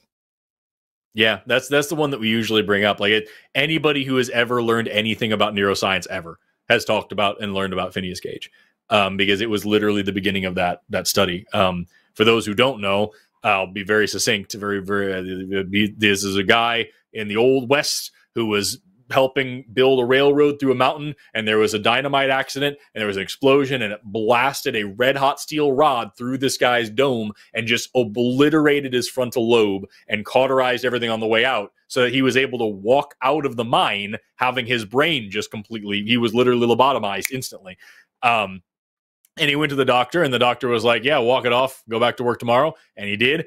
And whereas this person was kind polite hardworking sober, honest, good dude. After his frontal lobe was destroyed, he was violent, cruel, sexually uh, uh, um, uh, predatory, um, uh, egotistical, lazy, um, and that was the beginning of the study of, of neuroscience, really, because they realized, oh shit, this part of the brain was who this person was, and clearly that mattered, and it did something that changed. And like that was, yeah, it's one more of those big lines of evidence that show that consciousness is a, a, emergent property of the brain, not some fucking field that our brain is an antenna for. Yeah. Gosh. Uh, 999 from John Kennel. My confidence in scientific proclamations is always improved by clickbait ads about celebrity scandals and miracle toenail fungus cures. That's man, you know, I remember talking about this the first time with a friend of mine, Dr. Gordon Walker. He does a channel called Fascinated by Fungi, and we were talking about like fads and diets and things like that. And we were yeah. like, you know, it's it, it uh, if you try to sell a diet book that's you know one sentence long that says try to eat as many fruits and vegetables as you can and exercise whenever it's possible, but uh, inevitably it really comes down to genetics. You're not going to sell a million copies of it, but you will sell a million copies of the one that says if you eat exclusively turtle dicks, you'll lose a thousand pounds and learn to fly. And like, that's the one that'll make the headline news. It's like, yeah, it's, it sucks. And uh, by the way, lots and lots of turtles are protected. Uh, you can't, as somebody who keeps reptiles uh, in Texas, there's very few turtles that you're allowed to keep at all and we nearly uh, made some of them extinct, making soup out of them. I don't know if we were eating their dicks or not, but uh, it didn't do anything That's, for our health. That protection of turtles is why there's no obesity epidemic today. It's it's you need the turtle. That's exactly it. We're all fat because we stopped eating turtle dick. Twenty dollars from Ken Langley. Thank you so much, Ken. And thanks for if the. If anybody clips anything from this show, let it be that. uh, ten dollar uh, uh, uh, Moyet Morgan sent a super chat with a sticker. Yay! I'm sure it was a very cool sticker. Thank you very much for ah. sending uh, it. I appreciate it. I appreciate it. Thank you so much, Moyet. Was it the one with the cat doing the thing? Because I thought I saw that come up in the chat a little while ago. I saw one come up, but it, uh, it, was a little bit. Yeah, there was the cat one, but I think that one's later. Uh, I'm pretty sure that one was like a video game controller with cool like those you know those glasses that like it's like a meme they'll come onto someone's they'll slide onto someone's yeah, face yeah, yeah. screen it was those glasses Ah, yes, hell yeah. Ten dollars from Gray Mage. Thank you so much, Gray Mage. Um, 210 Noakes uh, from gold underscore H. Hey, Forrest. Hi. Um, I think the theme of poop transplants and the effects of gut health is very interesting. You've talked about the effects on mice. Um, what do we know about the effects on humans or if it's at all a safe procedure? Um, so what he's talking about here is uh, you have a micro yeah, yeah. You have a microbiome, a, a microflora in your in your gut. Um, you have all these you know bacteria and fungi and cool little things living inside your intestines, and they play a major role in the way your metabolism works, in your you know, the way you deposit and maintain fat and things like that. Um, and so the the experimentation on mice that I've talked about before is you can raise mice in a completely sterile environment where they have no bacteria in their guts.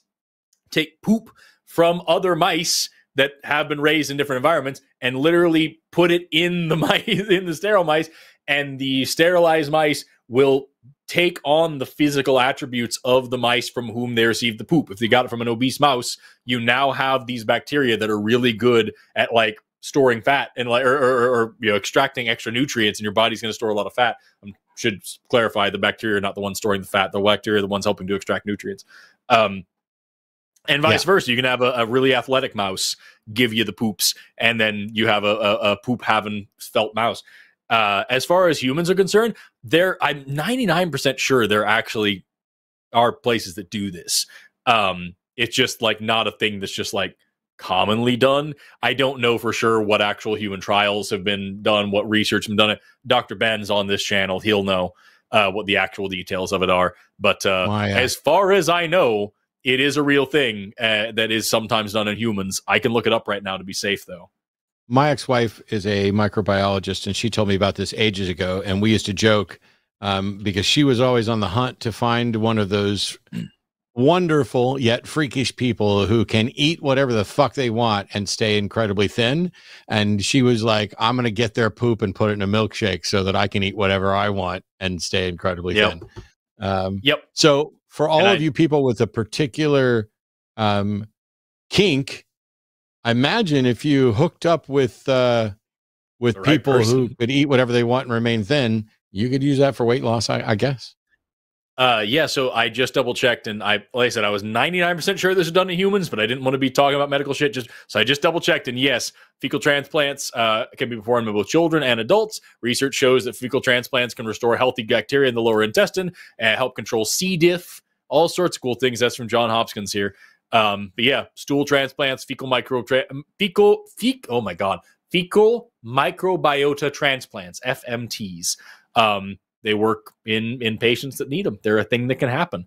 So go find your athletic friend and ask them for a very weird favor, and uh, don't eat it. Don't eat it. Don't do it that way because that's how you get giardia. Um, twenty dollars from Nimaz. It depresses me so much that there's no proof of the connection between the physical brain and consciousness that I'm gonna go drink myself silly. Yep, that's how it works. you don't know where the consciousness comes from, and now you're a nihilist, and you go fucking die weirdly.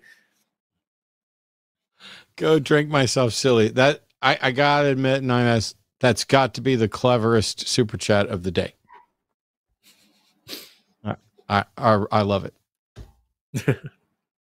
All right. $20 from Cyber Kid. Matt, thanks for the entertainment on Twitch. Both of you gentlemen are phenomenal, and I appreciate what you both do. Thank you so much, Cyber Kid. Are you the person that I banned today? Because I ban I ban several people every day, which is why there's only ever like 30 people watching me on Twitch.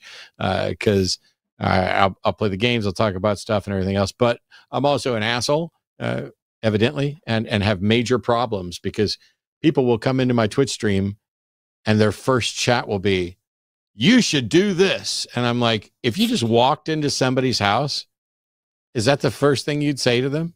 How about, "Hi, I'm so and so." By the way, are you taking questions? Somebody came into my Twitch chat the other day and said, um, please explain your position on blah blah blah. That was their very first chat. Not hi, not hey, are you taking questions? I'm sitting here getting some Counter Strike practice in in preparation for CS2 to try to get back some of the skills I had 23 years ago. Not going that well, and somebody decided right off the bat, please explain your position on this. No, uh, I'm not a fucking Absolutely performing not. monkey boy. How about you pay me, and then I'll interrupt my game to. it- Right. I thought about starting a Twitch channel. If I ever have some free, like you can watch me edit something. Like if I edit my videos, and you can watch me watch the same 10 second clip fifty thousand times to get the timing just right. I do. Uh, I do a lot of. I do my searches for snake stuff on there. Um, shopping for deals on Morph Market, Craigslist, etc. Sometimes I go through Craigslist and look at people who are selling reptiles and just basically roast them. You know, that's a shitty enclosure. Oh, you're still using one of those round analog uh, thermometers that are fucking useless and should not be allowed to be sold. Uh, yeah, I'll, I'll rip on them for that stuff. That's excellent. Uh, ten dollars from Monkey at Typewriter. Smileism because it doesn't matter if you because it doesn't matter if you smile. Love that. Great show, guys. Y'all are part of my decision to go into education. That's awesome. Starting a master's in teaching in the fall. That's fantastic. Great show. Thank you so much. So happy to hear there are more teachers out there getting started. That's awesome, dude. Is great. 999 from Nuzzy D. Thank you, Matt, for my daily dose of philosophy and critical thinking. Thank you, Forrest, for making me laugh while feeling very dumb. Stay awesome and y'all go fuck yourselves. That is, I, I, I I love just the, the, the niceness and the thank yous. It's, That's very sweet. I, I got sick, literally stomach stuff, and it's been rare. I've been, I've been, I'm, I'm dealing with some health issues, but nothing to worry about right now. But, um, yeah, I, I hate talking about my health stuff because people know I've had open heart surgery and I've got diabetes, and they like, oh my god, I don't want advice. I'm not looking for. I don't want any unsolicited medical advice, nothing like that. Um, this could probably just something I ate, but like five minutes before we went live, my stomach decided to uh, yell and scream and throw a fit. I've been fine throughout the rest of the show. I'm sure I'll be fine later. Um, but yeah, thanks. Ten dollars from Nathan Biffy. Smileism, because if you uh, if you have the power to smile with nihilism, you have a power greater than a god. A concept made up by people who undervalue others uh, could possibly give you. Love you guys. Love the show. Have a great day. Thank you so much. Love that. Thanks, Nathan. 1999 Uh, from Greg Markowski. So band practice tonight. Can't wait to watch the show tomorrow. You're going to enjoy it, and you weren't first in, but that's cool because I like getting the uh, the last minute stuff. Much appreciated, Greg. It gets real weird. 99 from Jamnico6. Uh, I'm adding Forrest Smilist to the list of terms that help describe me, along with misanthropic and humanist. Matt, what's the word you coined and combined consequentialism and foundationalism? I did not coin the term. Um, Susan Haack is a philosopher, and I hope I'm not mispronouncing her name. It's foundherentism, that is the combination of foundationalism and coherentism. Um, I I would love, I it would be a great honor. I might even get a little starstruck to be able to sit down and do an interview with Susan about this, um, because I don't think I don't think it's gotten anywhere near the attention it deserves. I came up with the idea in in the roughest form on my own and went looking for this and found her and coherent I foundherentism. So Nice. she, she's I don't I, I'm almost most sort of afraid to meet her and get to know her because she could turn out to be terrible and then I would be disappointed by yet another person. But Right. Don't meet your heroes. Uh, ten dollars from Denver Arnold. In some thousands, hundreds of thousands of years or more, could some animals adapt to the microplastics in their physiology? I don't know. If you hmm. ask me, like, if I had to hazard a guess, I'd say no because they're not, you know, digestible and like consumable. But like, that's not or organic. crazy. Like, yeah, well, like, other animals use like inorganic materials to make things to do stuff, but like I don't know, man. It- Although- it- it- we we have the ability like when you get a splinter or a thistle your body has the ability to basically force that out and push it out over time Mhm. i don't know that it's impossible that your body couldn't do something similar with microplastics I think the sheer size of them and the prevalence of them would make that impossible. Yeah. It, would be impossible to keep up with. As of right now, every single person in the United States eats about a credit card's worth of plastic every week. Every week you consume about a credit card's worth of plastic. It's in the food, it's in the salt, it's in the the drinks, it's in the it's everywhere. It's every got we found microplastics in fucking fetuses. Um, so like yeah, just it's it's all over, dude. And I don't think with the rate at which we're consuming it that it's possible for our bodies to keep up with getting rid of that's it. why May- we need to eat more we need to eat more teflon and credit cards. Just eat the credit card straight, and that way it'll, I don't know. save you money me and my human sent a $50 super chat sticker and that is awesome and much appreciated Thank you very much. Uh, we, we only got a handful left, but I- I'm I'm genuinely overwhelmed and overjoyed, especially since you guys are my Wednesday therapy. So ten dollars from Homespun Covers. Can you make a video? Uh, sorry, can you expect making a gnome in the future as simple as 3D printing is today? I wonder if that's genome. print a? Ah, yeah, yeah, yeah. Just 3D print a genome. Maybe, yeah, fucking yeah, dude. For sure. Then, yeah, I was like, why wouldn't you just 3D print a gnome? yeah, dude. Uh, yeah, I was no, like, I could totally see like that. a garden gnome to put out. I can already Yes, do that. I got 3D yeah. printer down the hall. I can fucking make one right now. Fuck now. yeah, put a million of them. Yeah, no, uh, for sure though. Yeah, you could totally eventually down the line, I could totally see that being may, maybe not exactly as simple as that, but honestly, I wouldn't be shocked if it was exactly as simple as that someday. So this is ten dollars super chat from Alan Ferguson, but there's a follow up here, which is ten dollars from Alan Ferguson coming out for the third time. First is gay, second is atheist, now is LSD user for depression. Atheist was the hardest. Why? Um, Societal pressure. yeah. I mean, I don't want to diminish anybody coming out as as as gay because for a lot of people it's one of the most traumatic things that they've ever had to do. Um, by the way, Wayne Brady, um, who some of you know from Whose Line Is It Anyway, and a number of other things, came out as pansexual uh, just this week, um, and, and that, yeah. gave a really uh, sweet interview talking about you know, how difficult it was for him to identify. You know, it- figuring finding out the right label, and for him, it, it's pan. Um, Yeah. but I think I remember um, Jen Peoples, one of my former co-hosts on the other shows. Um, when they came out as an atheist, it was a bigger deal because when they came out as gay, everybody was like, "Yeah, we already know." and so, uh, you know, I remember hearing that from a number of different people. Um, so, congratulations on on coming out uh, uh, for the third time. Although I'm pretty sure coming out as somebody who, who's an LSD user for depression uh, carries virtually no stigma. So that that's probably going to be the easiest. Uh, but I appreciate your contributions there, Alan. Thank you so much. Love that. Yeah, the, I, what Wayne Brady was saying about sexuality and everything like that. It's, it's I I loved. I didn't see the interview. I just read some of it from like NPR, and I, it's, he was saying that like you. I think this is the best way to describe it, and I've been thinking about it for a while. And I like he was even in. It seemed like there was some trepidation to make sure that he was using the right words. And like I, I get that. You know what I mean? That's I always just say I'm I'm as straight as I need to be. I'm in a heterosexual marriage. That's all you need to know about it if you need to know anything. The details, I'm not going to sit here and dig, and dig into it. You know what I mean? Because I don't, I don't know the words. I don't know the, I don't know the gay words, and I don't want to use them wrong. It's it's one of those things where, uh, so I I know people who will, uh, say they're queer because they're in a relationship with someone who's queer, and I can't do that. It it actually makes me a little. I'm a little pissed off about it. I've mentioned it before.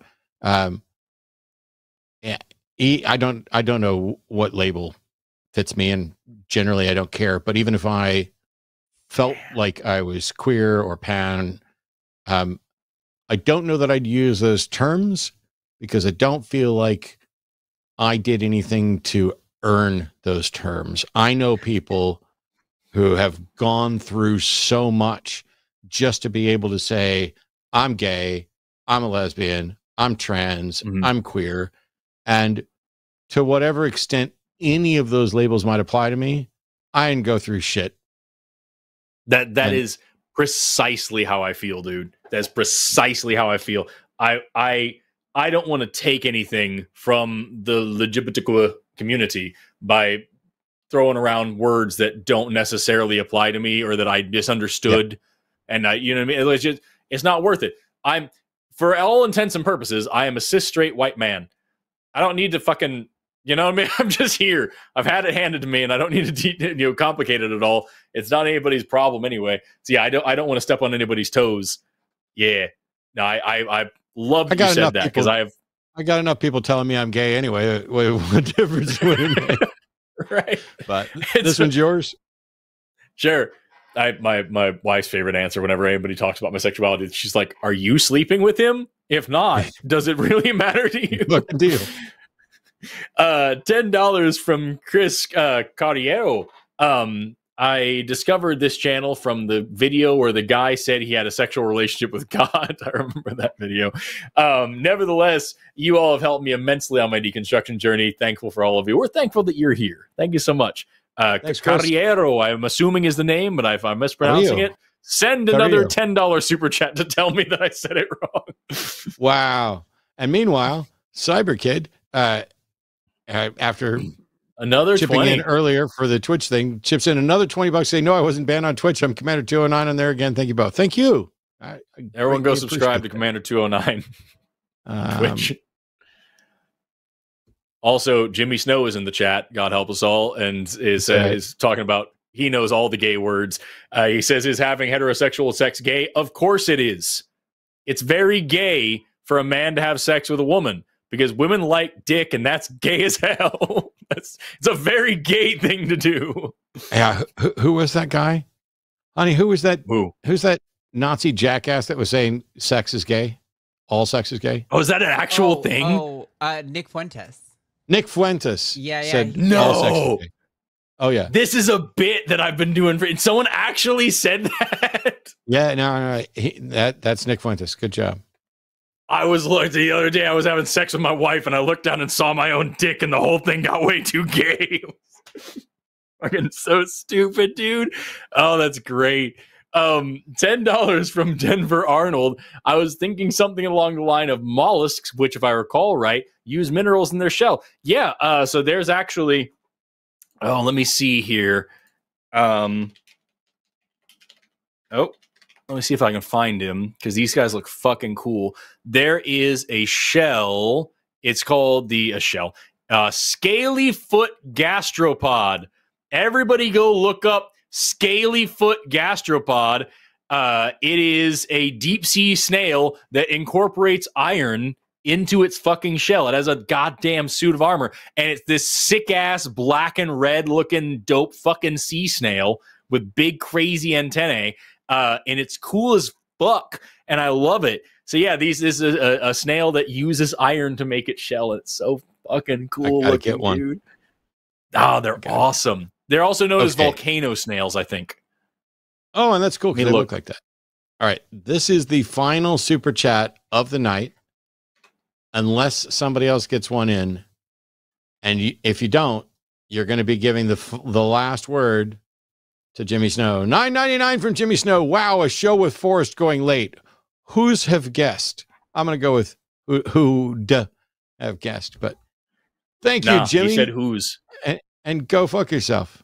Um, Yeah, no, it is. to- It is called a volcano snail. I just was- look up the volcano. Everybody, go do that. That's your homework for the night. Go look up volcano snails on on the Googlies. They're really cool. Jimmy, you need to come over and hang out, especially since uh, we're going to be heading out of town before long. Uh, yeah, let me hit this up real quick. Obviously, uh, right now the plan uh, for next week is for me to have um, Mindshift Skeptic on. Uh, I will try to confirm that. If that doesn't happen, there's a chance that next week's show won't happen because Arden and I are are basically leaving um, uh, to do stuff. Uh, and, and see people and there's some overlap and i'll i'll talk more about it afterwards. Um i've got uh i've got guests arriving here at the house who are going to be here for the next couple of weeks which is great. Uh, i'm looking forward to that especially since there's so much going on because we have uh here i'm a i'm gonna pull up husbandry pro which is where i track all of our snake stuff. Um, In the meantime, thank I you so much, Chris Carrillo, for sending out another super chat to let me know how to pronounce your name. Is Thank there you, really one? Forrest. I was gonna put that up right when he did that, so thank you. Thank No you. worries. So when I go over to Husbandry Pro, which is the application that I use for tracking all of our snake stuff, I have a little chart here with everything that's in the incubator. We are literally on day 51 of 56 for six python ball python eggs from our Mocala, Mojave Calico het pied or possible het pied to our leopard het pied or possible het pied, which means on the 14th, today's the 9th, on the 14th, we've got six eggs that are hatching. On the 18th, there's five more. On the 19th, there are 18 corn snakes that are going to be hatching. On the 21st, there's 12 more ball pythons. On the 15th of September, there's eight more. On the 21st of September, there's four more. On the 27th, there's seven more. And there's still two more girls in there that have yet to give us eggs that we're waiting on. We're doing uh, hangouts and stuff on. Uh, go and look up Epic Loot Exotics. I'm going to be doing some teaching uh, on snake genetics and breeding and what our breeding uh, plan is going to be for next year. Forrest, thank you for three and a half awesome hours. I know you had work to do. We we just kind of chucked this together without a moment's That's all right. hesitation. Uh, you got a show coming up here on Monday, so Yep. everybody come back on Monday um, and hang out with Forrest and get better answers to all the questions you didn't get answered today. Hopefully, we get some cool creationist colors. Although I believe that we probably won't because we never get them on that show. They just don't want, for some reason, the Christians and the creationists just don't want to talk to to actual biologists who study the science they don't think is real. It's weird. Just for some Yeah. reason, the, the calls just drop off. They'd rather just use a partial quote from Darwin and pretend Right. like they did anything that was close to science. On that front, thanks everybody for hanging out this weekend, and a huge thank you to everybody who participated. Uh, your financial donations are wonderful, helping to work to build up the Line Network. Like and subscribe. You can also go over to Patreon.com, where we are building up uh, support so that we can get uh, podcasts of the shows and do LineCon next year in conjunction with a um, a total solar eclipse. But like even when I'm feeling bad, coming in on Wednesday, you guys make my life better. Uh, last week, I loved having Arden on. Um, and I'm glad that we didn't have to rehash a lot of the same issues this week, um, but we will. And coming up soon, um, Jimmy's going to be on here with me as well because we're also going to be heading into an election year, an election season. And that means that we're going to be covering a lot more political stuff uh, in greater detail. In the meantime, please, even if you're a misanthrope, you can still value humans. And even if you're a nihilist, you can still smile. And even if you don't know anything about science, you can still be a skeptic and say, hey, if you want to tell me something about science, please do so in a way I can understand. And if I can't understand it, I'm not going to hold a position on this issue because I'd rather say I don't know than pretend I do and be wrong. See you next week. Bye bye. This is Prickface McDoobagdoob signing off. Thank you to Emery King. I'm sorry we didn't get your super chat. Uh, I'm not comfortable with this discussion of armadillos without Ben. If you know, you know. I don't know, but thank you anyway. Bye, everyone. Bye.